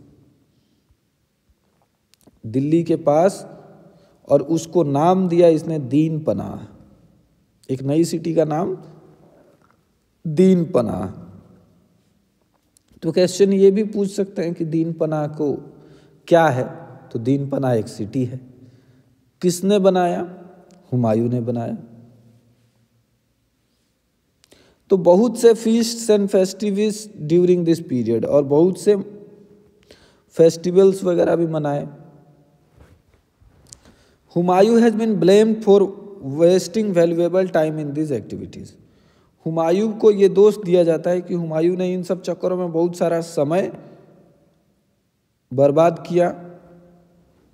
और इसी समय while Sher Khan was steadily augmenting his power in the east जबकि शेर खान इस समय अपनी पावर बढ़ाता जा रहा था ईस्ट में। It has also been said that Humayun's inactivity Humayun जो कि कोई एक्टिविटी नहीं कर रहा था, ठीक है और वो क्यों? Due to taking his opium opium यानी कि एक तरह का नशा होता है ड्रग्स होता है, एक तरह का नशा होता है। ये नशा बहुत ज़्यादा करता था। तो इस नशे के चक्कर में आके ये बहुत ज़्यादा एक्टिव नहीं रह गया इनएक्टिव हो गया। Neither of this charges has much substance Babur का तो देखिए, कह रहा है कि हुमायूं जो है वो इनएक्टिव था कुछ चीज़ों में। उसका कारण ये भी था कि उसने ओपियम लेना शुरू कर दिया था, एक तरह का ड्रग्स है वो लेना शुरू कर दिया था।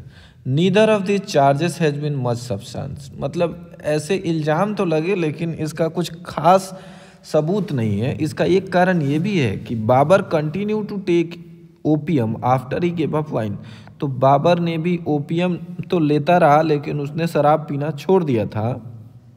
ये तो हम पढ़ चुके थे। Humayun ate opium occasionally, in a place और इन एडिशन टू वाइन। तो हुमायूं कभी कभी ओपीएम लेता था और वाइन के साथ कभी कभी ठीक है? But neither Babur nor Humayun was an opium addict लेकिन इन दोनों में से कोई भी, ना बाबर ना हुमायूं इन दोनों में से कोई भी नशे की लत नहीं थी, इनको नशे की आदत नहीं थी ओपीएम की। ओके तो आपको ये तो पता होगा कि ओपीएम क्या है। ठीक है? It could also serve as a second capital in case Agra was threaten by Bahadur Shah तो जो नया दीन पनाह बना रहा था हुमायूं, वो इसलिए भी बना रहा था कि कहीं बहादुर शाह के खतरे के समय अगर आगरा को खतरा होता है तो वो क्या कर सकता है? दीन पनाह को अपनी कैपिटल बना सकता है।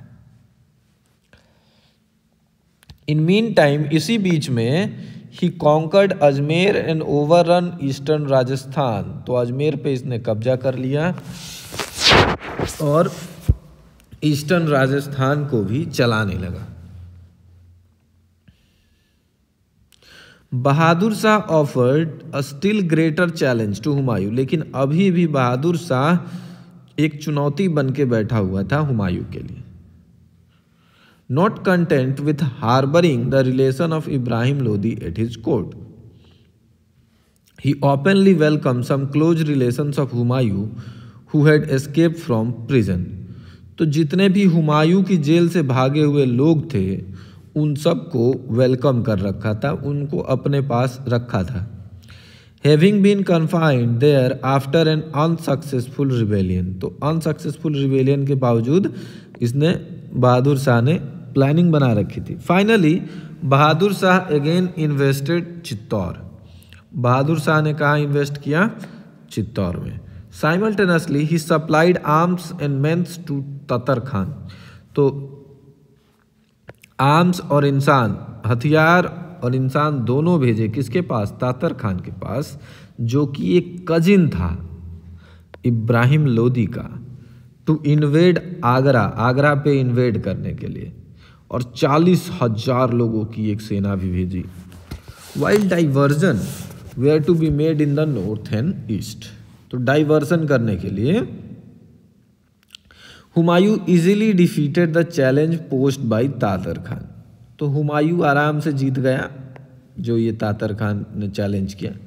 The Afghan forces melted away at the approach of the Mughals तो अफगानों की जो सेना थी वो फिर से हार गई। ठीक है?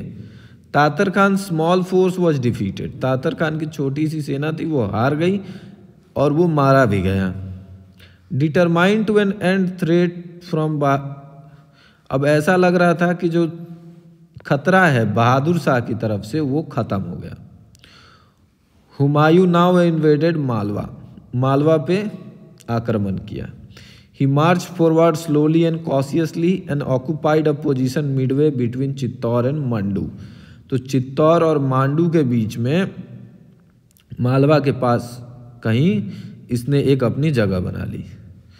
He thus cut off Bahadur Shah from Malwa और बहादुर शाह को कट ऑफ़ कर दिया मालवा से। अब मालवा से बहादुर शाह कनेक्ट नहीं कर सकते। Bahadur Shah quickly compelled Chittor to capitulate तो चित्तौर की ओर बहादुर शाह मूव किया और चित्तौर को अपनी राजधानी बनाई। Largely due to his fine artillery which was commanded by Ottoman master gunner Rumi Khan It was been said that Humayun refused to help Chittor due to religious consideration. तो देखो, उसका एक बहुत अच्छा गनर था रूमी खान ठीक है, ये तो हम पढ़ ही चुके हैं हुमायूं का फाइन आर्टिलरी जो थी, बहुत अच्छी आर्टिलरी थी जिसको रूमी खान चला रहा था, फिर भी हुमायूं ने रिफ्यूज कर दिया चित्तौर पे हेल्प करने के लिए ताकि क्योंकि वो कुछ रिलीजियस कंसिड्रेशंस थे।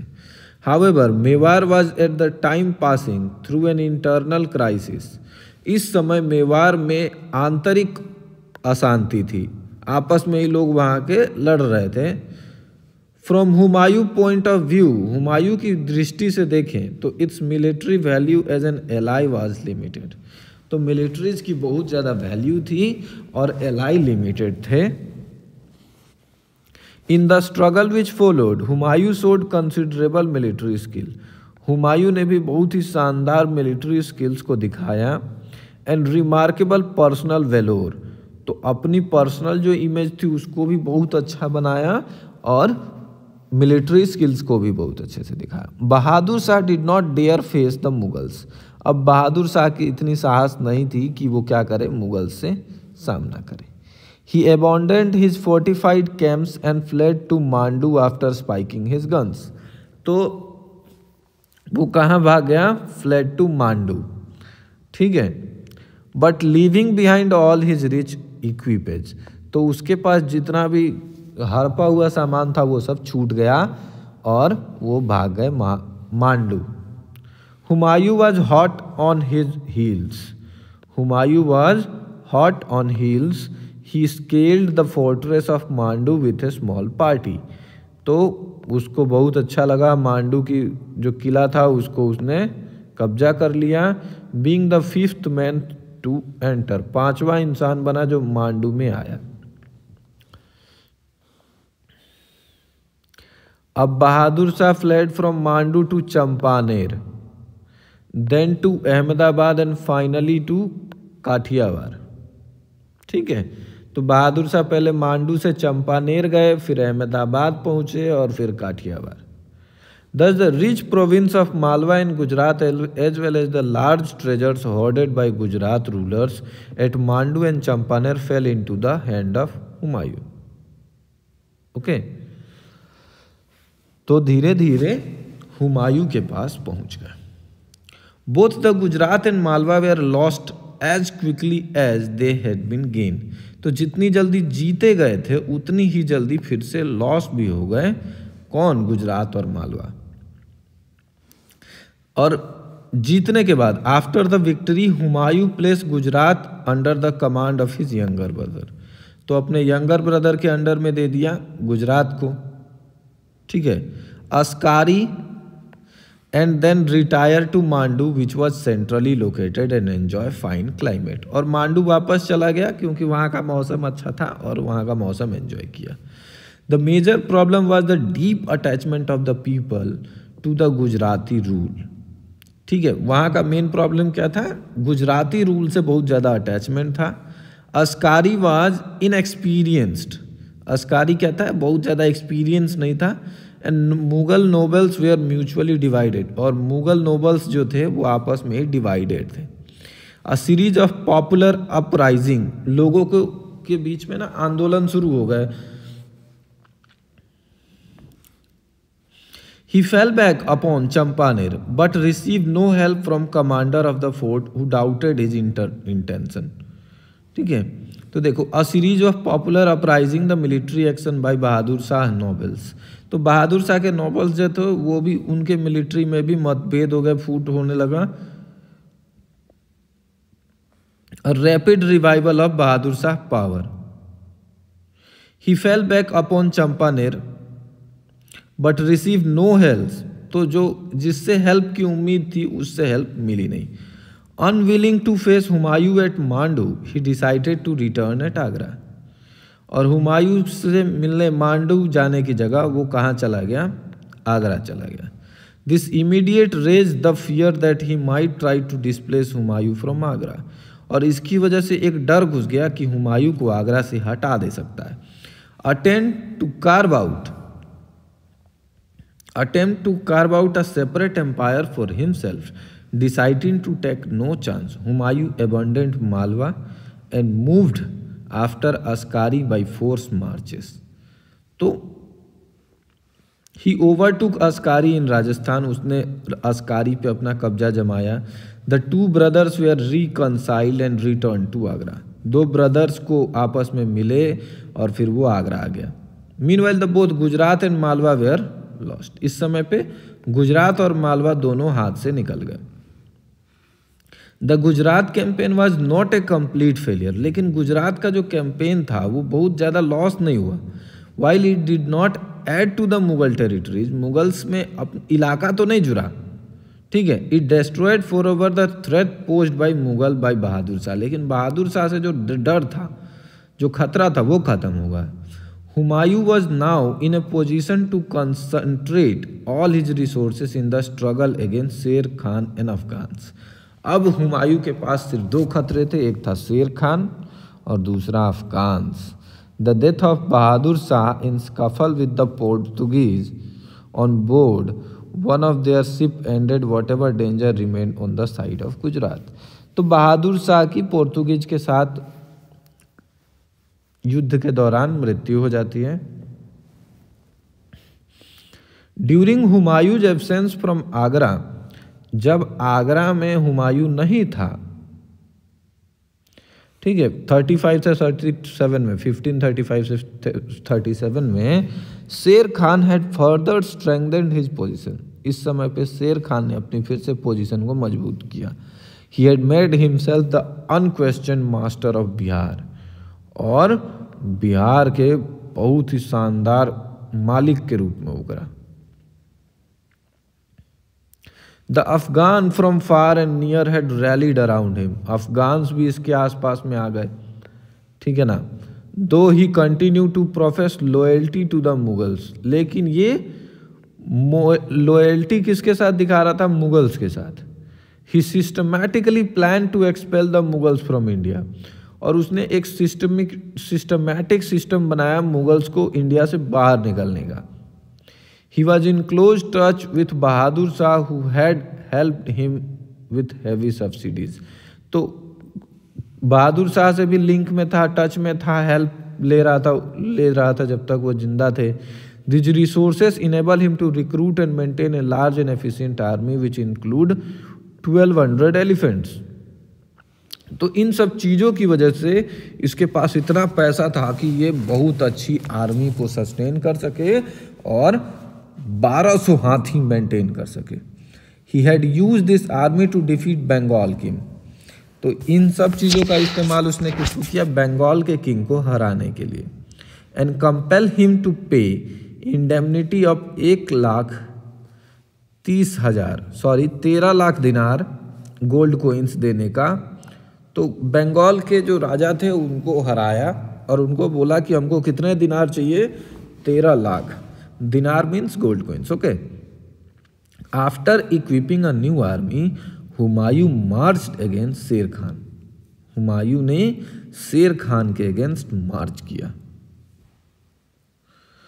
and besiege Chunar towards the end of the year और अगेन फिर से चुनार पे कब्जा हुआ Humayun felt it would be dangerous to leave such a powerful fort behind और उसे लगा कि इतनी पावरफुल फोर्ट को छोड़ के आना बहुत खतरा हो सकता है his line of communication however the fort was strongly defended by the Afghan तो उसे लगा कि ये जो फोर्ट है, वो बहुत ही अच्छी तरह डिफेंडेड है अफगान से despite the best of efforts by the master gunner Rumi Khan.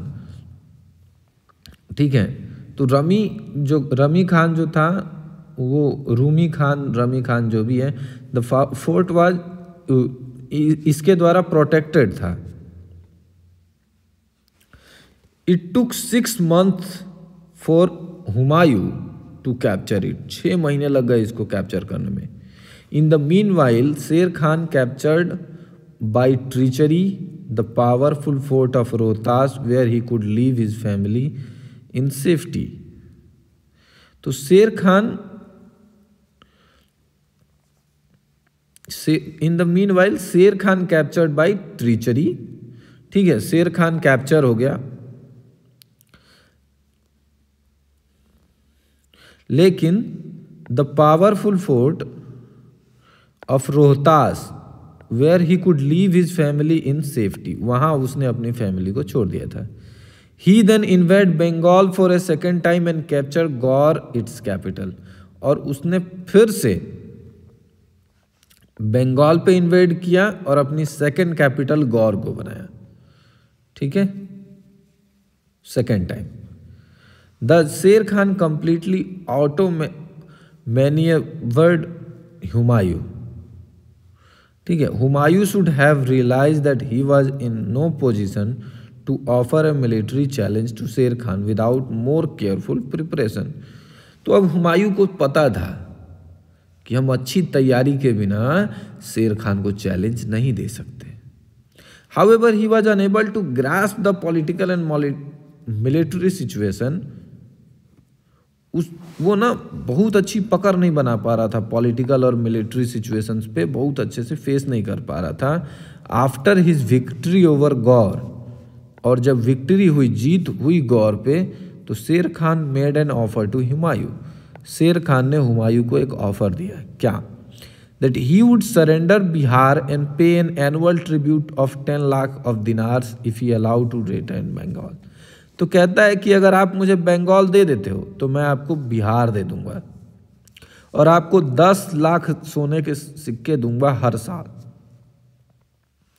It is not clear how far Sher Khan was sincere in making this offer ये श्योर तो क्लियर तो नहीं था कि शेर खान इस प्रॉमिस को कितने समय तक पूरा करेगा करेगा कि नहीं करेगा but Humayun was not prepare to leave Bengal to Sher Khan. But Bengal को शेर खान के हाथ में छोड़ के आने के लिए हुमायूं तैयार नहीं था। Bengal was the land of gold Bengal में बहुत ज़्यादा रिचनेस थी। बहुत सारी फैक्ट्रीज थी और बहुत सारा पैसा आ रहा था। क्योंकि बंगाल एक्चुअली में ना फॉरेन ट्रेड का बहुत बड़ा सेंटर बन गया था।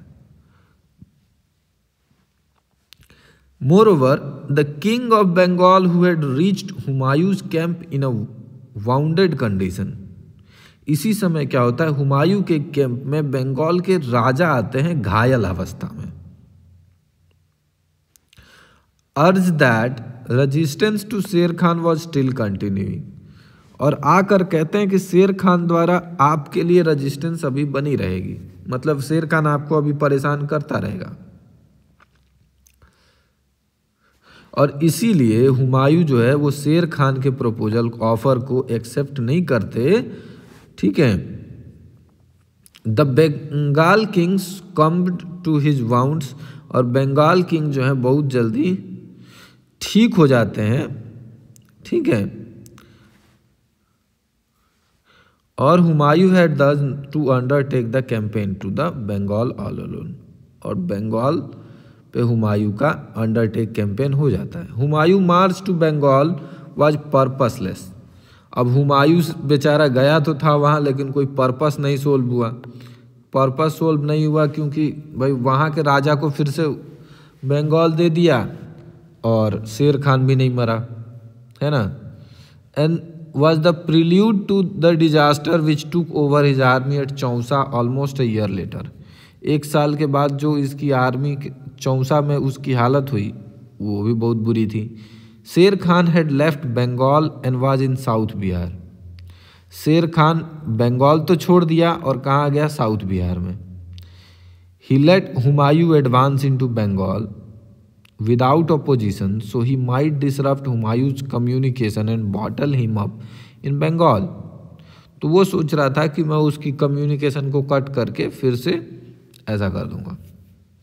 Humayun quickly took step to establish law and order Humayun बहुत ही जल्दी एक्शंस लेता है लॉ एंड ऑर्डर को मेंटेन करने के लिए देश में but this did not solve any of his problem लेकिन इससे कोई प्रॉब्लम सोल्व नहीं करती और उसकी जो प्रॉब्लम है, वो और भी बढ़ती चली जाती है। ठीक है? और उसका जो छोटा भाई था, ठीक है? His situation was made worse by attempt of his younger brother Hindal इसका एक और यंगर ब्रदर कौन है? Hindal to assume the crown himself at Agra Hindal आ गया क्राउन मांगने कि भाई अब बहुत दिन शासन कर लिया, अब हम शासन करेंगे। Due to this the Sher Khan activities Humayun was totally cut off from all news and supplies from Agra इसकी वजह से शेर खान की एक्टिविटीज़ हुमायूं ने बिल्कुल ही बंद कर दिए उसके न्यूज़ और सप्लाई आगरा वगैरह से सब कुछ बंद कर दिया। After a stay of three to four months at Gaur तीन चार महीने गौर में रहने के बाद Humayun started back for Agra. Humayun कहाँ जाने लगा? आगरा। ठीक है। पीछे क्या छोड़ा? एक स्मॉल गैरिसन छोड़ा। Despite the rumbling of discontent in the nobility the rainy season and constant harrying attack of the Afghans Humayun manage to get his army back to Chausa near Buxar किसी तरह rainy season भी था, बहुत सारे attacks हो रहे थे Afghans के, फिर भी हुमायूं ने किसी तरह अपनी आर्मी को कहाँ लेकर आया? चौसा नियर बक्सर। बक्सर बिहार में ज़्यादा कुछ नुकसान नहीं हुआ था अभी तक हुमायूं को। This was a big achievement for which Humayun deserve credits तो ये बहुत बड़ी उपलब्धि थी। उस समय बहुत बड़ा अचीवमेंट था जो हुमायूं ने लिया और इसका हुमायूं को क्रेडिट भी मिलना चाहिए। Mean Kamran had also advance from Lahore to quell Hindal's rebellion at Agra Kamran आ गया, क्योंकि उसने हिंदाल जो था, हिंदाल ने रिबेल कर दिया था आगरा में तो इसको रोकने के लिए आ गया। Thought not disloyal Kamran made no attempt to set reinforcement Kamran जो है no attempt to send reinforcement to Humayun Humayun के पास कोई हेल्प नहीं भेजी। कोई धोखा तो नहीं दिया कामरान ने, लेकिन अपना हेल्प भी नहीं किया। This might well have swung the militant balance in favour despite these setbacks Humayun was still confident of success against Sher Khan इतनी सारी मुसीबतों के बावजूद भी शेर खान के मामले में हुमायूं ही सक्सेसफुल रहा। He forgot that he was facing an Afghan army उसको एक अफगान आर्मी से भी फेस करना पड़ रहा था which was very different from from the one year before it had gain gained experience and confidence under the leadership of skilful general तो skilful general के अंडर अफगान्स बहुत ज़्यादा मतलब ताकतवर ताकतवर हो गए थे। फिर भी बहुत ज़्यादा नुकसान नहीं हुआ था हुमायूं को। Humayun crossed to the eastern bank of the काम कर्मनासा रिवर। तो कह रहा है, हुमायूं क्रॉस करता है कौन सी ईस्टर्न रिवर को? करमनासा रिवर को। Giving full scope of to the Afghan horseman in camp there और यहाँ मौका मिल जाता है, पूरा मौका किसको मिलता है? अफगान्स को कि अपने हॉर्समैन्स को एनकेम्प्ट करें, यहाँ कैंप लगाएँ। Humayun showed not only bad political sense Humayun ने यहाँ क्या दिखाया? बैड पॉलिटिकल सेंस दिखाया, गलत दिखाया political sense but bad generalship भी और बुरा जनरलशिप भी गलत दिखा दिया। वो जो लड़ाई का ग्राउंड है, वो गलत चुन कर, चुनता है। ठीक है? And allowed him to be taken unawares aware नहीं था वो, चौकन्ना नहीं था। ठीक है? Humayun barely escaped with his life from the battle field swinging swimming across the river और हुमायूं बड़ी मुश्किल से बच के भागता है अपनी जान बचा के। ठीक है? इमेंस बूटी फेल इन शेर खान सैन। और ज़्यादातर चीज़ें किसके हाथ में आ जाती हैं? शेर खान के हाथ में आ जाती हैं। About seven thousand Mughal soldiers and many prominent nobles were killed सात हज़ार से ज़्यादा सैनिक मारे जाते हैं और जितने भी बड़े बड़े लोग थे, वो सब मारे जाते हैं। After the defeat of Chausa Chausa में हार जाता है हुमायूं, याद रखिएगा। चौसा का युद्ध किसके बीच में हुआ? शेर खान और हुमायूं के बीच में। चौसा में हार जाता है हुमायूं मार्च 1539 में। Only the fullest unity among the Timurid princes and noble could have save the Mughals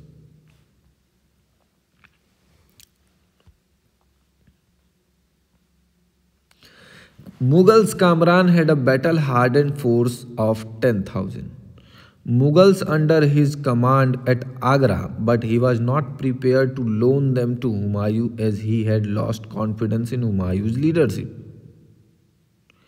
देखो Kamran had a battle hard and force of ten thousand Mughals. तो कामरान के पास दस हज़ार की सेना थी? ठीक है. Under the command of Agra के कमांड में। लेकिन वो जो है, हुमायूं को लोन देने के लिए तैयार नहीं था। क्योंकि हुमायूं एक बार हार चुका था और हुमायूं पे अब भरोसा नहीं था। और हुमायूं भी इतना तैयार नहीं था not prepare to entrust the command of the army to command तो कामरान की आर्मी को कमांड देने के लिए प्रिपेयर्ड भी नहीं था। Lest the latter use of assume power himself the suspicious between brother grew till Kamran decided to return to Lahore with the bulk of his army और बाद में कामरान सोचता है कि चलो यार, कोई नहीं, मैं अपनी आर्मी लेके कहाँ चला जाता हूँ? लाहौर, पाकिस्तान चला जाता हूँ। पाकिस्तान तो नहीं था उस समय, पंजाब था, वहाँ चला जाता हूँ। इसके बाद बहुत ही जल्दीबाजी में हुमायूं ने आगरा में अपनी मिलिट्री को, अपनी आर्मी को इकट्ठा तो किया, तैयार तो किया, लेकिन शेर खान की जो आर्मी थी, उसके साथ कोई कंपैरिजन नहीं था मैच नहीं था। ठीक है? और battle of Kannauj May May 1540 में बहुत बुरी तरह लड़ाई हुई contested both the young brothers of Humayun दोनों जो यंग ब्रदर्स थे हुमायूं के, Askari and Hindal fought valiantly but not but to no avail लड़े तो दोनों बहुत अच्छे से, लेकिन कुछ खास वो नहीं हुआ। The battle of Kannauj decided the issue between Sher Khan and Mughals तो जो भी बैटल ऑफ़ कन्नौज होगा, यही डिसाइड करेगा मुगल और शेर खान के बीच के इशूज को, Humayun now become a prince without a kingdom ठीक है, हुमायूं क्या हो गया? एक प्रिंस बन गया, ऐसा प्रिंस जिसके पास उसका किंगडम ही नहीं है। काबुल एंड कंधार दोनों किसके पास थे? कामरान के पास। राइट, कामरान के पास थे।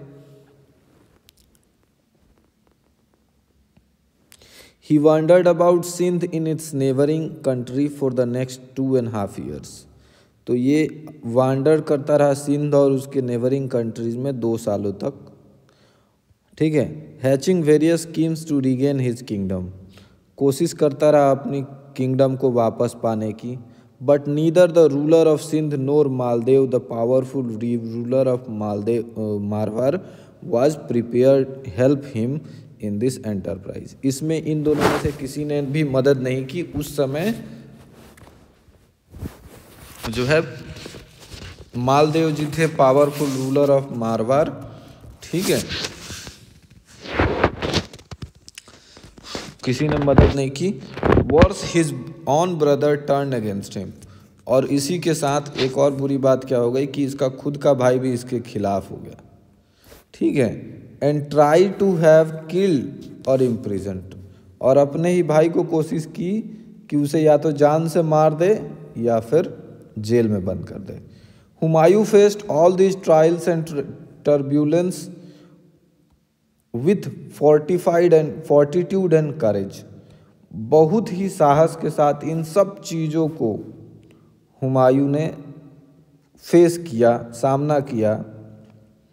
It was during this period that Humayun's character sought itself as its best यही एक समय था जब हुमायूं का सबसे बेहतरीन कैरेक्टर देखने को मिला। Ultimately Humayun took shelter at the court of Iranian king एक ईरानियन किंग के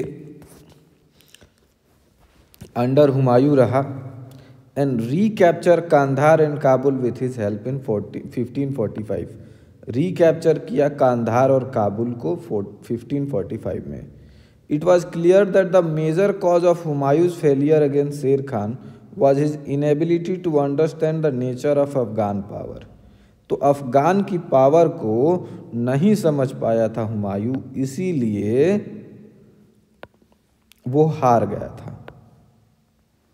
Due to due to existence of large numbers of Afghan tribes scattered over north India बहुत ही बड़ी संख्या में अफगान ट्राइब जो थी वो फैली हुई थी नॉर्थ इंडिया में।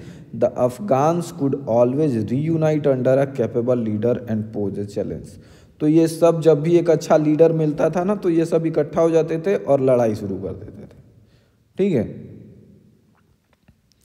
Without winning over the local ruler and zamindars to their side the Mughal were bound to remain numerically inferior और जो मुगल्स थे, वो हमेशा नंबर में कम रहते थे नंबर में हमेशा कम रहते थे।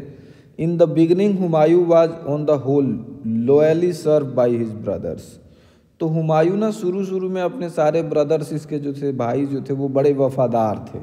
इसका बहुत साथ दे रहे थे। ठीक है?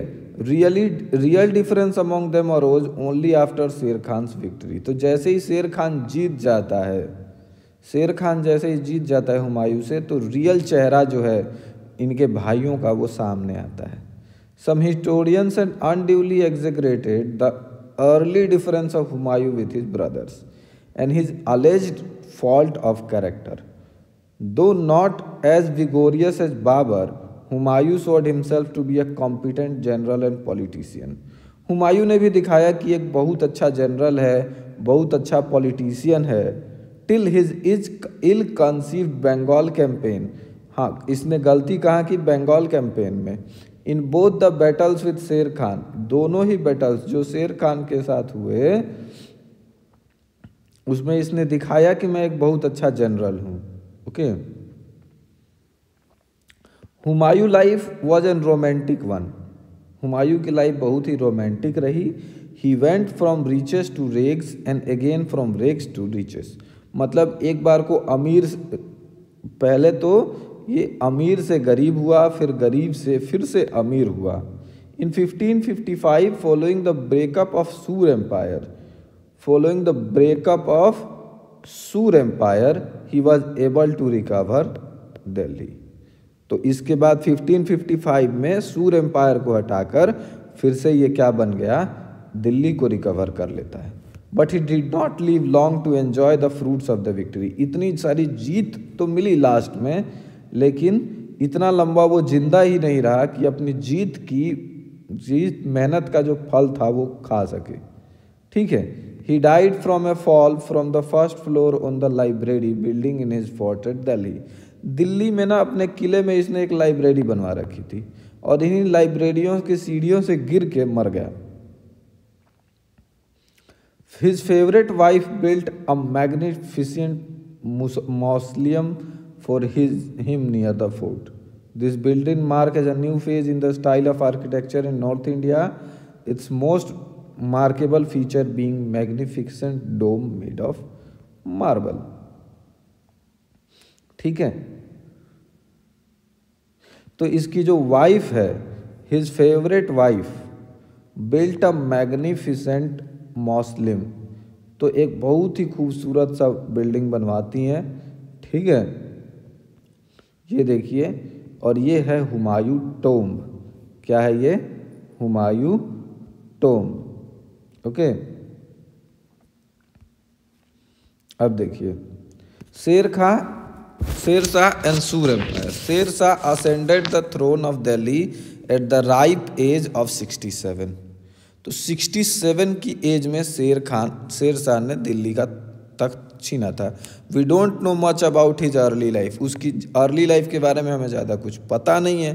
His original name was Farid उसका ओरिजिनल नेम क्या था शेर खान का? Farid and his father was a small jagirdar at Jaunpur उसके पिता जो थे, वो एक स्मॉल जागीरदार थे जौनपुर में Farid acquired rich administrative experience Farid ने एडमिनिस्ट्रेटिव एक्सपीरियंस की काफ़ी अच्छी नॉलेज थी ठीक है क्योंकि इसके पिता जागीरदार थे तो ये सब देखता रहता था following the defeat and death of Ibrahim Lodi जैसे ही हार होती है इब्राहिम लोदी की और मृत्यु होती है the confusion in Afghan affairs Afghan affairs में कन्फ्यूज़न हो जाता है। He emerge as one of the most important Afghan sardar.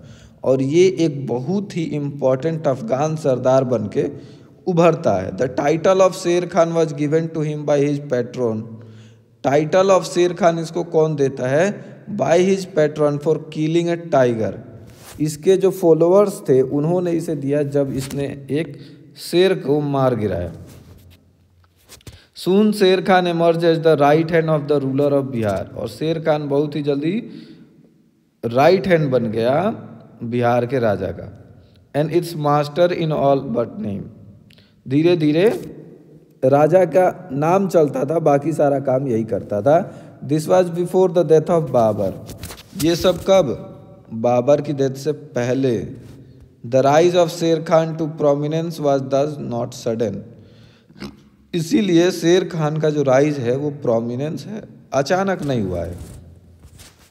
As a ruler Sher Khan rule the mightiest empire which had come into existence in north India since the time of Muhammad bin Tughlaq his empire extended from Bengal to the Indus excluding Kashmir in the west be conquered Malwa in the west be conquered Malwa and most entire Rajasthan Malwa was then in a weak and distracted condition तो इसने ना waste में conquer किया मालवा को, लगभग लगभग पूरा Rajasthan conquer किया। लेकिन उस समय मालवा की स्थिति जो थी वो बहुत अच्छी नहीं थी, ठीक है? और कोई रजिस्टेंस के भी काबिल नहीं था उस समय। इसका विरोध करने के कोई काबिल नहीं था। But situation in Rajasthan was different Rajasthan की सिचुएशन थोड़ी अलग थी। मालदेव मालदेव नाम के रूलर थे, मेवार, मारवार के।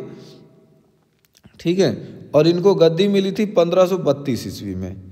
तो इन्होंने ना whole had brought rapidly the whole of western and northern Rajasthan under his control he further expanded his territories during Humayun's conflict with Sher Khan तो शेर शाह से जब लड़ा मतलब इसके कॉन्फ्लिक्ट्स थे तो इस समय पे जो मालदेव जी थे, इन्होंने अपनी टेरिटरी को काफ़ी एक्सपांड किया था। ठीक है टेरिटरी का मतलब है अपने राज्य के बाउंड्री को काफ़ी बड़ा किया था। With the help of the Bhatis of Jaisalmer किसकी सहायता से? Bhatis of Jaisalmer he conquered Ajmer Ajmer पे भी कब्जा किया था। In his career of conquest he came into conflict with the ruler of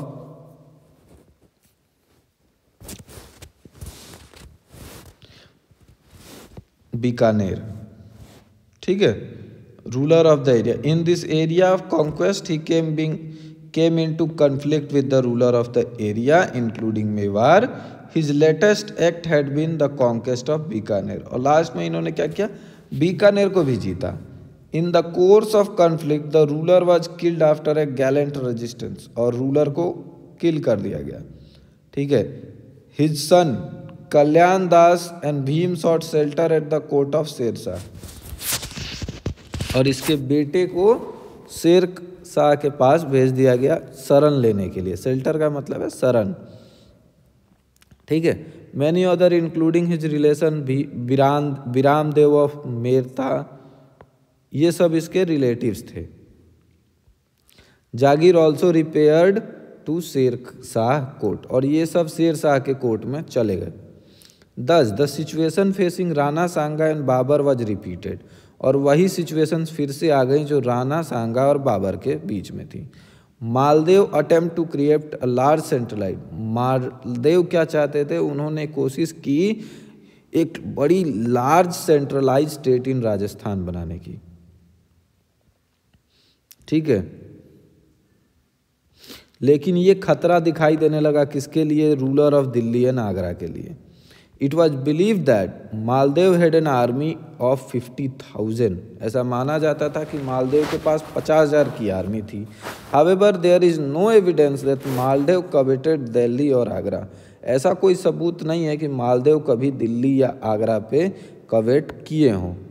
Now as before the bone of contention between the two was the domination of the strategically strategically important eastern Rajasthan the Rajput and Afghan forces clashed at Sammel तो राजपूत और अफगान दोनों के बीच में लड़ाई होती है कहाँ? समेल में। समेल कहाँ है? Fifty between Ajmer and Jodhpur Ajmer और जोधपुर के बीच में एक जगह है समेल यहाँ पर राजपूत और अफगान की लड़ाई होती है।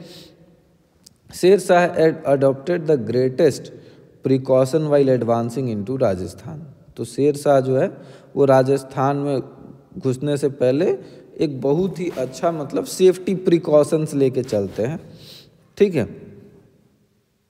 एट एवरी स्टेज हर स्टेज पे he would throw up entrenchment to guard against a surprise attack तो वो ना गड्ढे वड्ढे खोन के, गड्ढे इतने बड़े बड़े करके उसके भीतर छुप जाते थे, जिससे उन दूसरों का अटैक जो है वो नहीं हो पाता था। सरप्राइज़ अटैक से बच जाते थे। ठीक है? It was clear that the Rajput too had learn a lot about military tactics since Rana Sanga disastrous battle with Babur तो बाबर से राणा सांगा के युद्ध के बाद बहुत सी ऐसी मिलिट्री टैक्टिक्स थी जो राजपूत भी सीख गए थे। They refuse to attack the strongly fortified position of Sher Shah तो उन्होंने ना शेरशाह के फोर्टिफाइड बहुत ही अच्छी तरह फोर्टिफाइड था। मतलब एक तरह से कहते हैं किलेबंदी में था शेरशाह तो उस उन्होंने अटैक ही नहीं किया। After waiting for about a month Maldeo suddenly withdraw towards डोडवर्ड तो एक महीना इंतज़ार करने के माल, बाद मालदेव अचानक से कहाँ चला गया? जोधपुर की ओर जाने लगा। तो according to contemporary writer this was due to a clever stratagem on the part of Sher Shah तो एक बहुत ही इंपॉर्टेंट और चालाकी बड़ा स्टेप स्टेप था ये। He had dropped some letters address to the Rajput commanders near Maldeo camp तो मालदेव कैंप के पास कुछ लेटर्स छोड़ दिए थे, ठीक है राजपूतों के लिए राजपूत कमांडर्स के लिए in order to show doubt in his mind about their loyalty और ये लिख दिया कि मुझे डाउट है कि आप लोग मेरे लॉयल हैं। The ruse worked Maldeo Singh his mistake when it was too late Maldeo को तब पता चला कि ये बहुत बड़ी गलती है, जब बहुत लेट हो गई। Some Rajput sardar refuse to retreat Rajput सरदार जो हैं, उन्होंने मना कर दिया रिट्रीट करने से।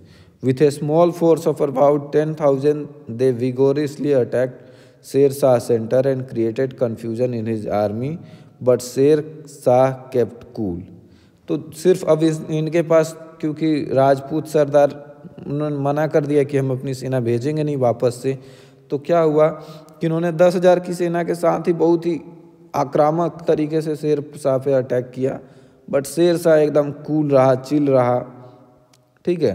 और soon superior number an Afghan fire halted and Rajput charge surrounded the Rajput died fighting to the last man many Afghan soldiers perish with them तो लगभग लगभग हर राजपूत मारा गया अपनी आखिरी सांस तक लड़ने के बाद।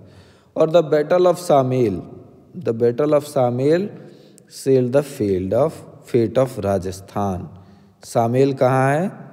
याद रखिएगा, ये है जोधपुर और जोधपुर और और और अजमेर के बीच, okay?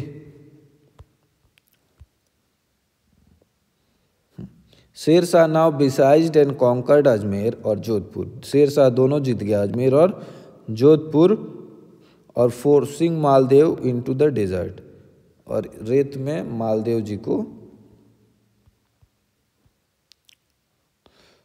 मेवार की ओर भगा दिया। The Rana was in no position to resist Rana अब लड़ने की हालत में नहीं थे। और चित्तौर की चाबी किसके पास चली गई? शेर शाह के पास। ठीक है? और उसने अपना सेटअप आउटपोस्ट सेटअप कहाँ किया? माउंट आबू में। ठीक है? Thus in brief period of ten months Sher Shah overran almost the entire Rajasthan. His last campaign was among against Kalinjar a strong fort that was the key to Bundelkhand तो बुंदेलखंड का एक बहुत ही मज़बूत किला था, जिसका नाम था कलिंजर ठीक है? यही लास्ट कैंपेन था शेर शाह का।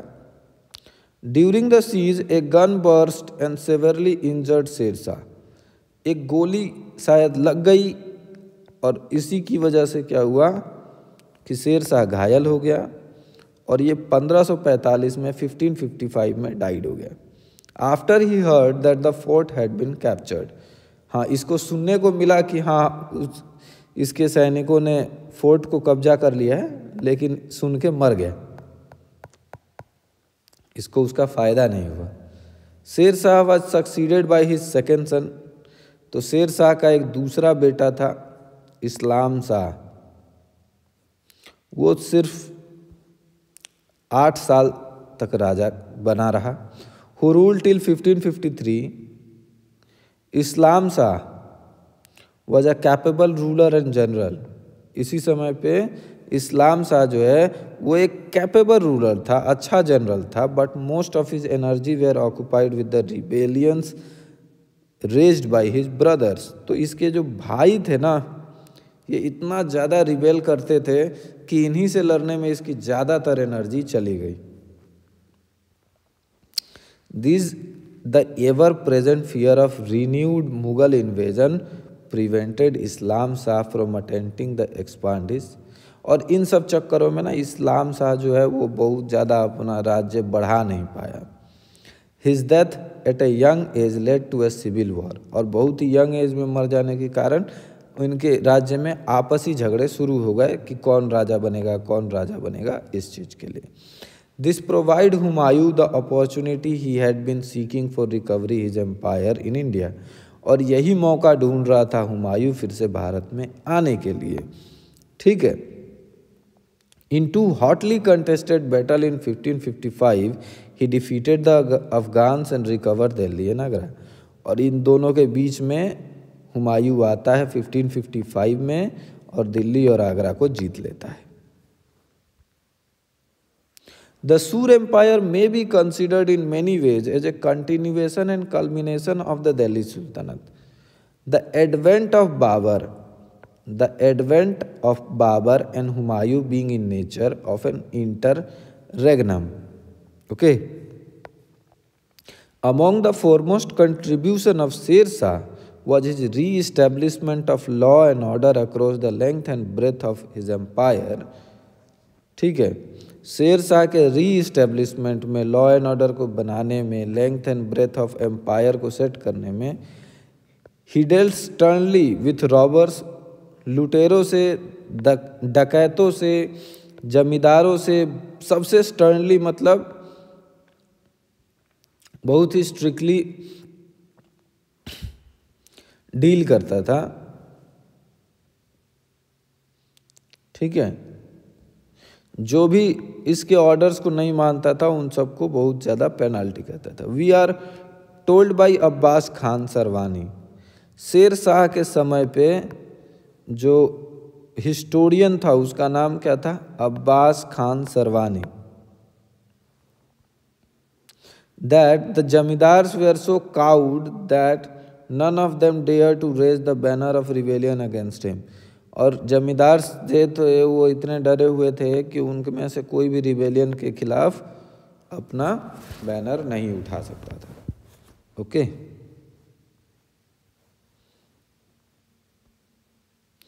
Sher Shah paid great attention to the fostering of trade and commerce and the improvement of communication in his kingdom Okay. तो गाइस रात के बज रहे हैं एक और इस समय हो रही है video recording so please video को एंड तक देखिएगा, कोशिश करिएगा कि हाँ मेरी मेहनत को सफल बनाइएगा। Sher Shah paid great attention to the fostering trade और कॉमर्स पे काफ़ी ध्यान दिया था शेर शाह ने। कम्युनिकेशन को इम्प्रूव करने की कोशिश की थी, ठीक है? शेर शाह ने एक बहुत ही पुराना रास्ता था ओल्ड एम्पीरियल रोड जो कि ग्रैंड ट्रंक रोड के नाम से जाना जाता था। इसको क्या किया? रिस्टोर किया। दोबारा से सही करवाया। और ये कहाँ सा from the Indus river in the west of Sonargaon in the Bengal ठीक है। कहाँ से? इंदस रिवर जो कि पाकिस्तान के पास है तो पाकिस्तान से बंगाल तक, ठीक है? He also built a road from Agra to Jodhpur एक और रास्ता बनाया इसने आगरा से जोधपुर तक, ठीक है?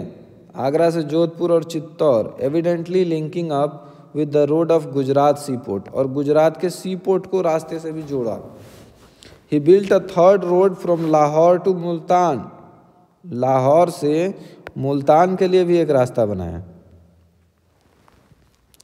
Multan was at that time the stagnant point for caravans तो जितने भी बैलगाड़ियों से लोग यात्रा करते थे, वो मुल्तान में रुकते थे। ठीक है? For the convenience of traveller sells have built a sarai एक तरह का तालाब होता था। तो शेर शाह ने जो ट्रेवलर्स थे, उनकी सुविधा के लिए एक सराय बना दिया। ठीक है?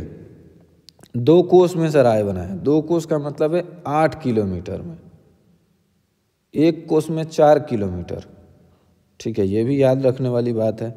On these road the sarai was a fortified lodging और inn where travellers could pass the night and also keep their goods in safe custody तो जो सराय था, इसके पास में फिर मतलब होटल्स टाइप की व्यवस्था बनाई गई थी।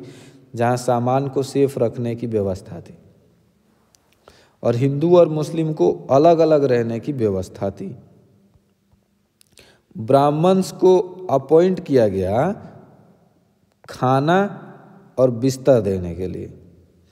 Hindu travellers and grains for their horses Brahmins को अपॉइंट किया गया क्या करने के लिए? हिंदू ट्रेवलर्स को खाना देने के लिए, बिस्तर देने के लिए और उनके घोड़ों को अनाज देने के लिए।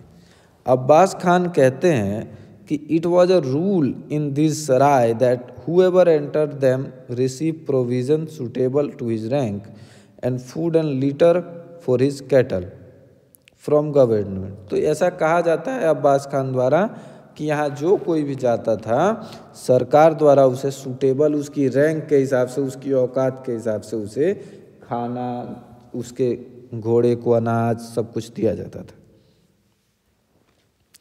Effort were made to settle village around the sarai आस पास में कोशिश की गई कि गाँव बसा दिया जाए। The land was set apart in this village for the expansion of the sarai every sarai had several watchman हर सराय के कुछ वॉचमैन होते थे अंडर द क्रेट ऑफ़ सहना ठीक है कस्टोडियंस भी होते थे वहाँ। We are told that Sher Shah built seventeen sarai in all. तो शेर शाह ने लगभग कितने बना दिए sarai? Seventeen hundred. Some of these are still existing अभी भी कुछ हैं, देखने को मिल जाएँगे। Which shows how strong they are जो दिखाते हैं कि वो कितने मज़बूत थे। His roads and sarai have been called the arteries of the empire arteries का मतलब होता है नसें। तो ये जो सराय है, ये जो रास्ते हैं, यही हैं जिनसे खून, जैसे आर्टरी होती है ना हमारी नसों से तो खून बहता है तो इसी तरह से खून तो नहीं, लेकिन पैसा बहता था राज्य के लिए। They help in quickening trade and commerce तो ये रास्ते जो हैं, ये सराय जो हैं, वो ट्रेड एंड कॉमर्स को बहुत ही बूस्ट करते थे स्पीड बढ़ा देते थे इसकी। ठीक है? Many of the sarais developed into market towns qasbas to which peasants flock to sold sell their produces the sarai were also use as a stage for the news services और dak chowki the organisation of the dak chowki has been described in the earlier chapter by mean of these Sher Shah kept himself in his vast empire. Sher Shah also introduced other reforms to promote the growth of trade and commerce. तो शेर शाह से ना और भी दूसरे तरीके अपनाए जिससे कि क्या हो ट्रेड एंड कॉमर्स और भी अच्छा हो जाए in his empire goods paid custom duty जितना भी सामान था उस पर टैक्स लगता था लेकिन ओनली एट टू प्लेस सिर्फ़ दो जगह पे। जहाँ गुड्स प्रोड्यूस हुआ था, यानी जहाँ बना था मोस्टली बंगाल में, और अगर बाहर से भी आता था तो उस पर लगता था टैक्स ठीक है? और फिर कहाँ लगता था? बिहार एट सिकरी गली ठीक है? Goods coming from west and central Asia paid custom duty at the Indus और जो ईस्ट वेस्ट एशिया से आता था वेस्ट या फिर सेंट्रल एशिया से जो सामान आता था उस पर कस्टम ड्यूटी कहाँ लगती थी? इंदस रिवर के पास। ठीक है? No one was allowed to levy custom at roads रास्तों पे कोई कस्टम नहीं लगता था। रोड्स के लिए कोई कस्टम नहीं था। ना फेरीज के लिए, ना टाउन्स के लिए कहीं नहीं। The duty was paid a second time at the time of sale एक बार खरीदते टाइम लगता था, एक टाइम, एक बार बेचते टाइम लगता था, बस। ठीक है। Sher Shah directed his government and amils to compel the people to treat merchants and travellers well in every way तो शेर शाह ने कह रखा था कि भाई, हमारे जितने भी मर्चेंट्स हैं, व्यापारी हैं, इनको बहुत अच्छे से ट्रीट करना है, बहुत प्यार से ट्रीट करना है। Okay not to harm them at all if a merchant died they were not to seize his goods अगर कोई मर्चेंट मर जाता था तो उसका सामान सीज नहीं किया जाता था। ठीक है? अगर वो अननोन है तो भी नहीं।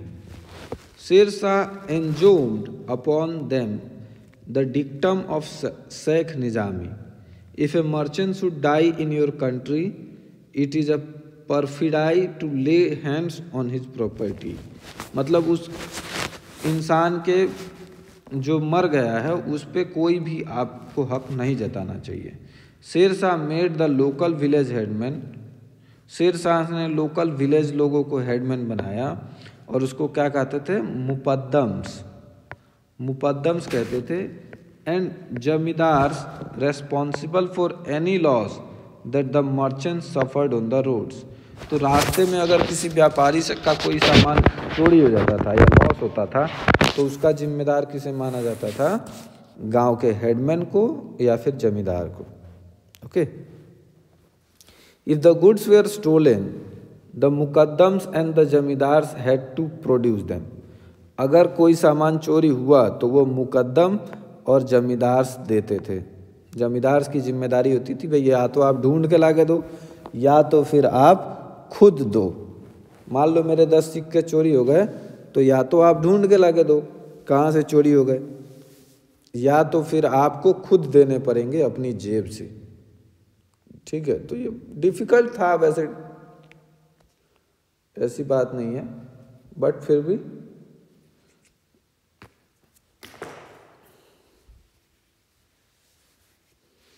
So now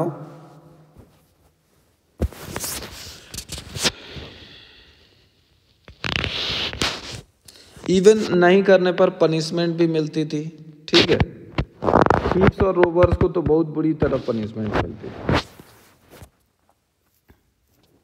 The same law was applied in case of murder on the road murder के केस में भी सेम रूल अप्लाई होता था। It was a barbarous law to make the innocent responsible for the weak ठीक है? But it seems to have been effective वैसे तो ये थोड़ा क्रूर था मतलब क्रूएल था ये रूल, बट फिर भी काफ़ी इफ़ेक्टिव था। ठीक है? अब्बास सरवनी की भाषा में कहें तो a सेपिट old woman might place a basket full of gold ornament on her head and go on a journey मतलब ऐसी अवस्था थी कि एक बूढ़ी महिला भी अपनी सारी जो ज्वेलरी है, जो गहने हैं, उसे एक बास्केट में रख के सफ़र पे निकल सकती थी और किसी चोर का या किसी लुटेरे का डर नहीं होता था कि वो पास आए और the fear of the punishment which Sher Shah in इनफिक्सेड तो इतना अच्छा था शेर शाह का management. The currency reforms of Sher Shah also helped in the growth of commerce and handicrafts. He struck fine coins of gold. He struck the currency reforms of Sher Shah also helped in the growth of commerce and handicrafts. He struck fine coins of gold and silver and copper of uniform standard in place of the debased coin of mixed metal. His silver rupee was so well executed इसके जो silver के रुपए थे, वो बहुत ज़्यादा executed थे that it remained a standard coin for centuries और सालों तक, सौ सालों तक लगभग लगभग बहुत ही ज़्यादा उनकी इज़्ज़त बनी रही। His attempt to fix a standard weight उसने एक स्टैंडर्ड वेट भी फिक्स करने की कोशिश की कि 500 ग्राम में इतना वज़न होना चाहिए या एक किलो का वज़न इतना होना चाहिए इस चीज़ को भी सेट करने की, ताकि एक किलो कोई कहीं से भी खरीदे तो उसको उतना ही वज़न मिले, इस चीज़ की कोशिश की थी। जिससे व्यापार भी अच्छा हुआ। Sher Shah did not make any change in the administrative division administrative division में बहुत ज़्यादा चेंजेस नहीं किए सल्तनत पीरियड तक। A number of villages comprise up pargana तो परगना का मतलब क्या है? A number of village okay the pargana was under the charge of shiqdar तो परगना किसके अंडर रहता था? सिकदार के। ठीक है? तो सिकदार का काम था कि वो लॉ एंड ऑर्डर मेंटेन करे। मतलब कानून व्यवस्था बना के रखे। एंड जनरल एडमिनिस्ट्रेशन छोटी मोटी जो भी फैसले हो, वो यही लेगा। एंड द मुंसिफ और amil who look after the collection of land तो मुंसिफ जो होते थे मुंसिफ या आमिल इनका काम था लैंड रेवेन्यू को कलेक्ट करना। ठीक है? Accounts were maintain both in the Persian and the local language accounts को पर्सियन और लोकल दोनों लैंग्वेज में मेंटेन किया जाता था, जिसको हिंडवी के नाम से जानते हैं। Above the pargana above the pargana was the shiq pargana के ऊपर कौन था? सिख परगना के ऊपर कौन था? सिख और सैकर अंडर द चार्ज ऑफ़ सिकर सिकदर ए सिख सिकदर ए सिख दरन एंड मुंसिफे मुंसीफरन ठीक है, नाम थोड़ा सा अजीब है। सिकदर ए सिख दरन एंड मुंसिफे मुंसिफ दरन ठीक है, इन दो नामों से बुलाया जाता था जो परगना से ऊपर होते थे, परगना के head it seize that only the designation of the officer were new since Both Pargana and Sarkar were units of administration in earlier period also. A number of Sarkar were grouped into provinces. ठीक है तो ढेर सारे सरकार के group को क्या कहते थे? प्रोविंस लेकिन इसके बारे में हमें ज़्यादा पता नहीं है प्रोविंशियल एडमिनिस्ट्रेशन के बारे में।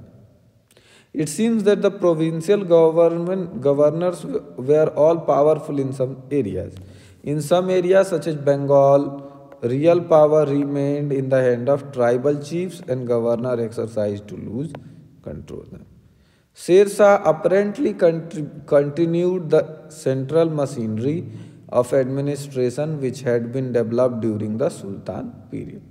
However, we do not have much information about it. Sher Shah did not favor leaving too much authority in the hand of ministers. तो मिनिस्टर के हाथ में बहुत ज़्यादा पावर नहीं थी he work exceedingly hard devoting himself to affair of the state and from early morning to the late night तो सुबह बहुत सुबह से मतलब देर, जल्दी सुबह उठ जाते थे और रात के बहुत लेट तक काम करते रहते थे। He also tour the country constantly to know the condition of the people but no single individual however hard work okay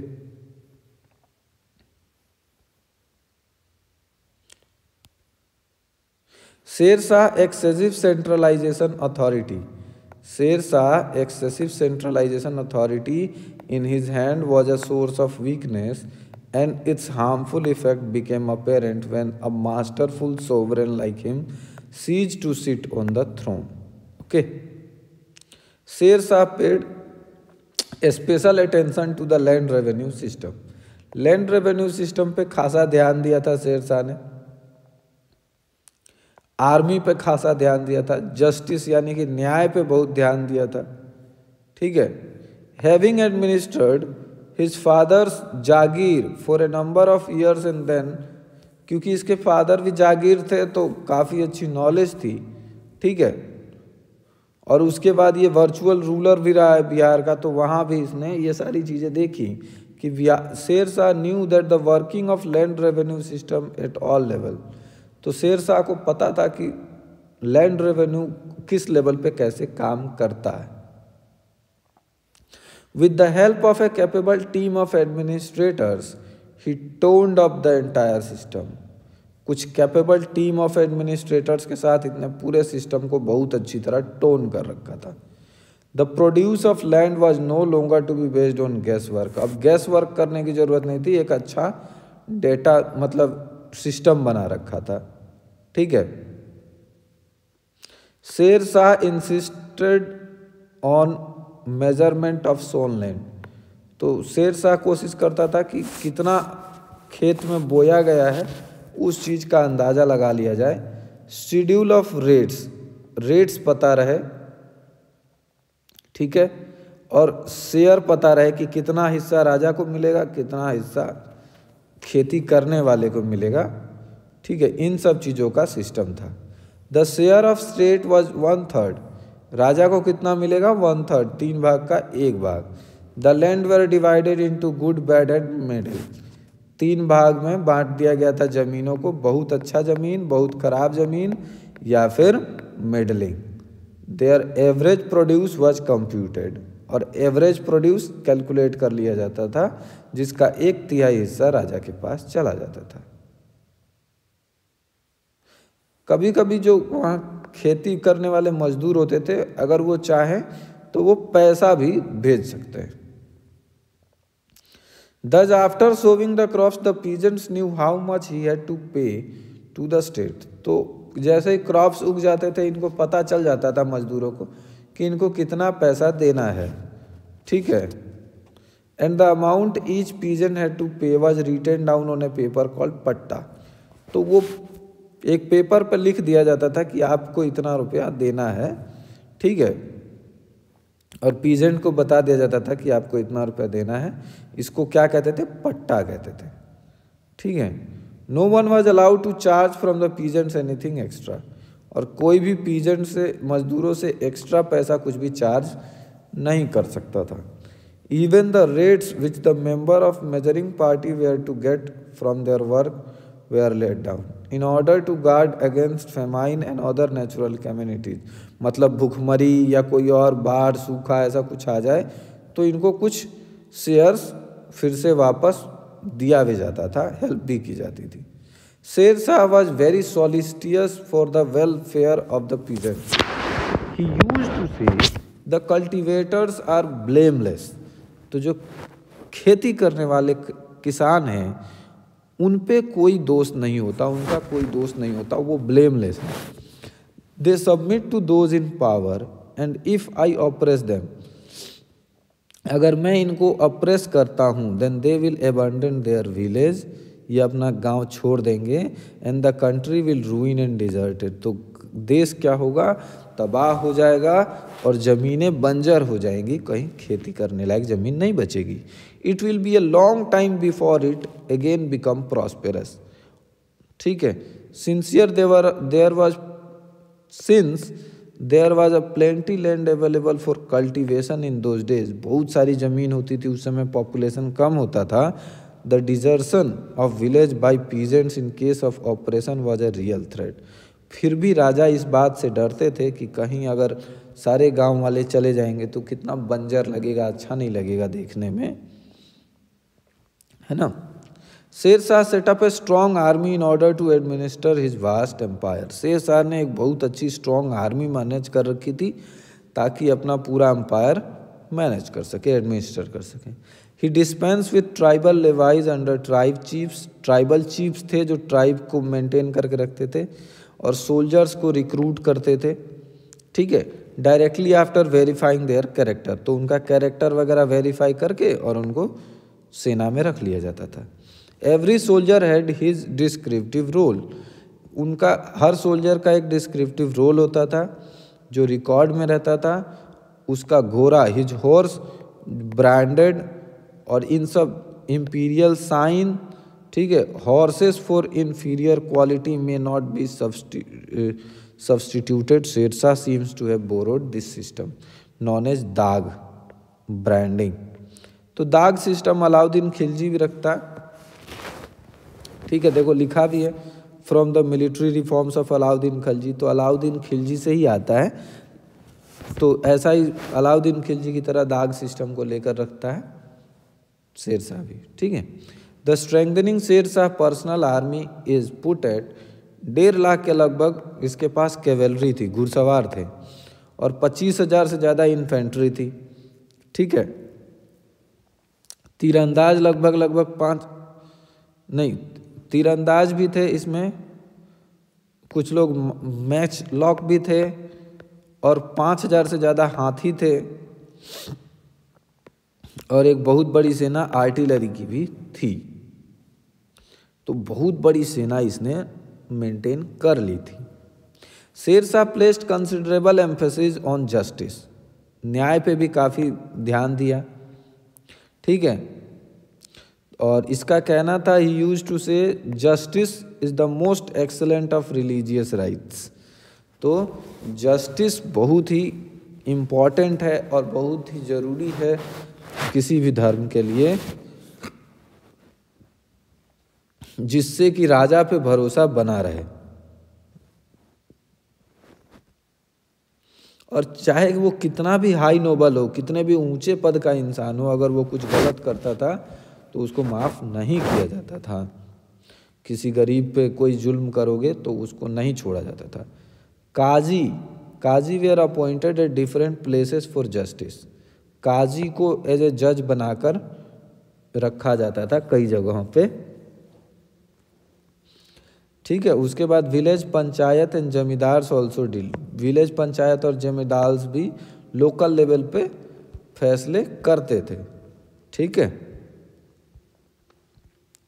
Justice was however taken by Sher Shah son and successor Islam Shah Islam Shah confined the law thus doing away with the necessity of dependent on a special set of people who interpret the Islamic तो इसका जो बेटा था इस्लाम सा, वो क्या करता था कि इस्लामिक लॉज को ज़्यादा इंटरप्रेट करता था। इस्लामिक लॉज पे ज़्यादा फोकस करता था।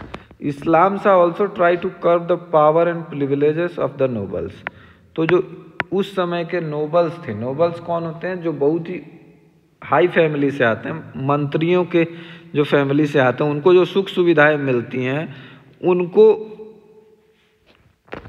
मना करने की, उनको हटाने की कोशिश करता था। सुख सुविधाएँ कम देने की। जैसे आज की डेट में बात होती है ना कि मंत्रियों का जो पेंशन है वो बंद कर देना चाहिए।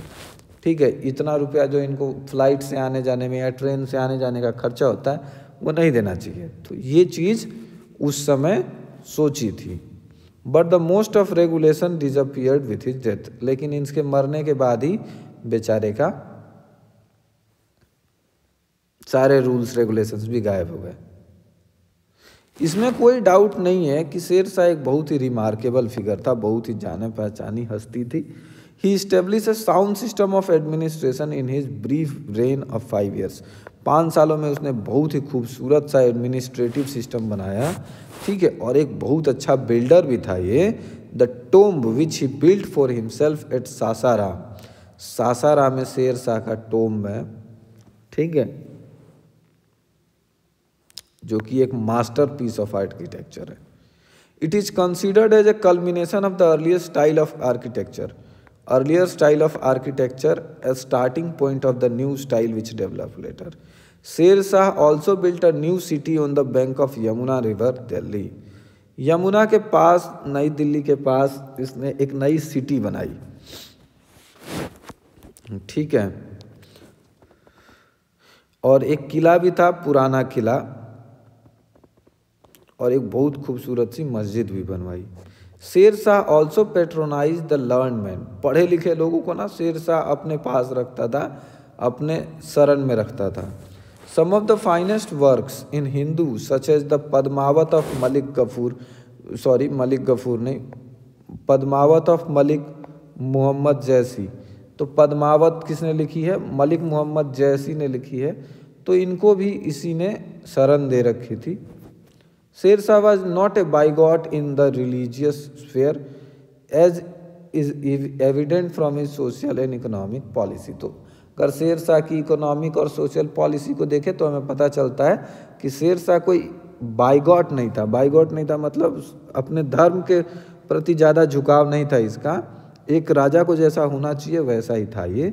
Neither Islam neither Islam Shah, nor the dependent on the ulama, though they respected them a great deal. Religious slogans, religious slogans were sometimes used to justify political actions. तो रिलीजियस एक्शंस को justify किया जाता था political actions के लिए use किया जाता था रिलीजियस स्लोगन्स को the treacherous murder of Puranmal and his associates after he had vacated the fort of Raisen in Malwa on the basis of a binding oath in such example. The theologians ruled that no faith need to be kept with an infidel and that Puran Mal had oppressed. Muslim men and women Sirsas did not, however, initiated any liberal policy. तो कोई liberal policy को initiate नहीं किया था। जजिया कर, जजिया एक तरह का टैक्स था, जो गैर मुस्लिमों पे लगता था, वो भी कंटिन्यू किया था, हिंदुओं से लिया जाता था। गैर मुस्लिमों का मतलब है जो मुस्लिम नहीं है, उनसे प्रोटेक्शन मनी के रूप में लिया जाता था। ठीक है? Thus the state under Surs remained an Afghan institution जबकि सूरों के अंदर में स्टेट कैसे हो गया? अफगान इंस्टीट्यूट की तरह हो गया और रेस और ट्राइब्स के ऊपर बट गया।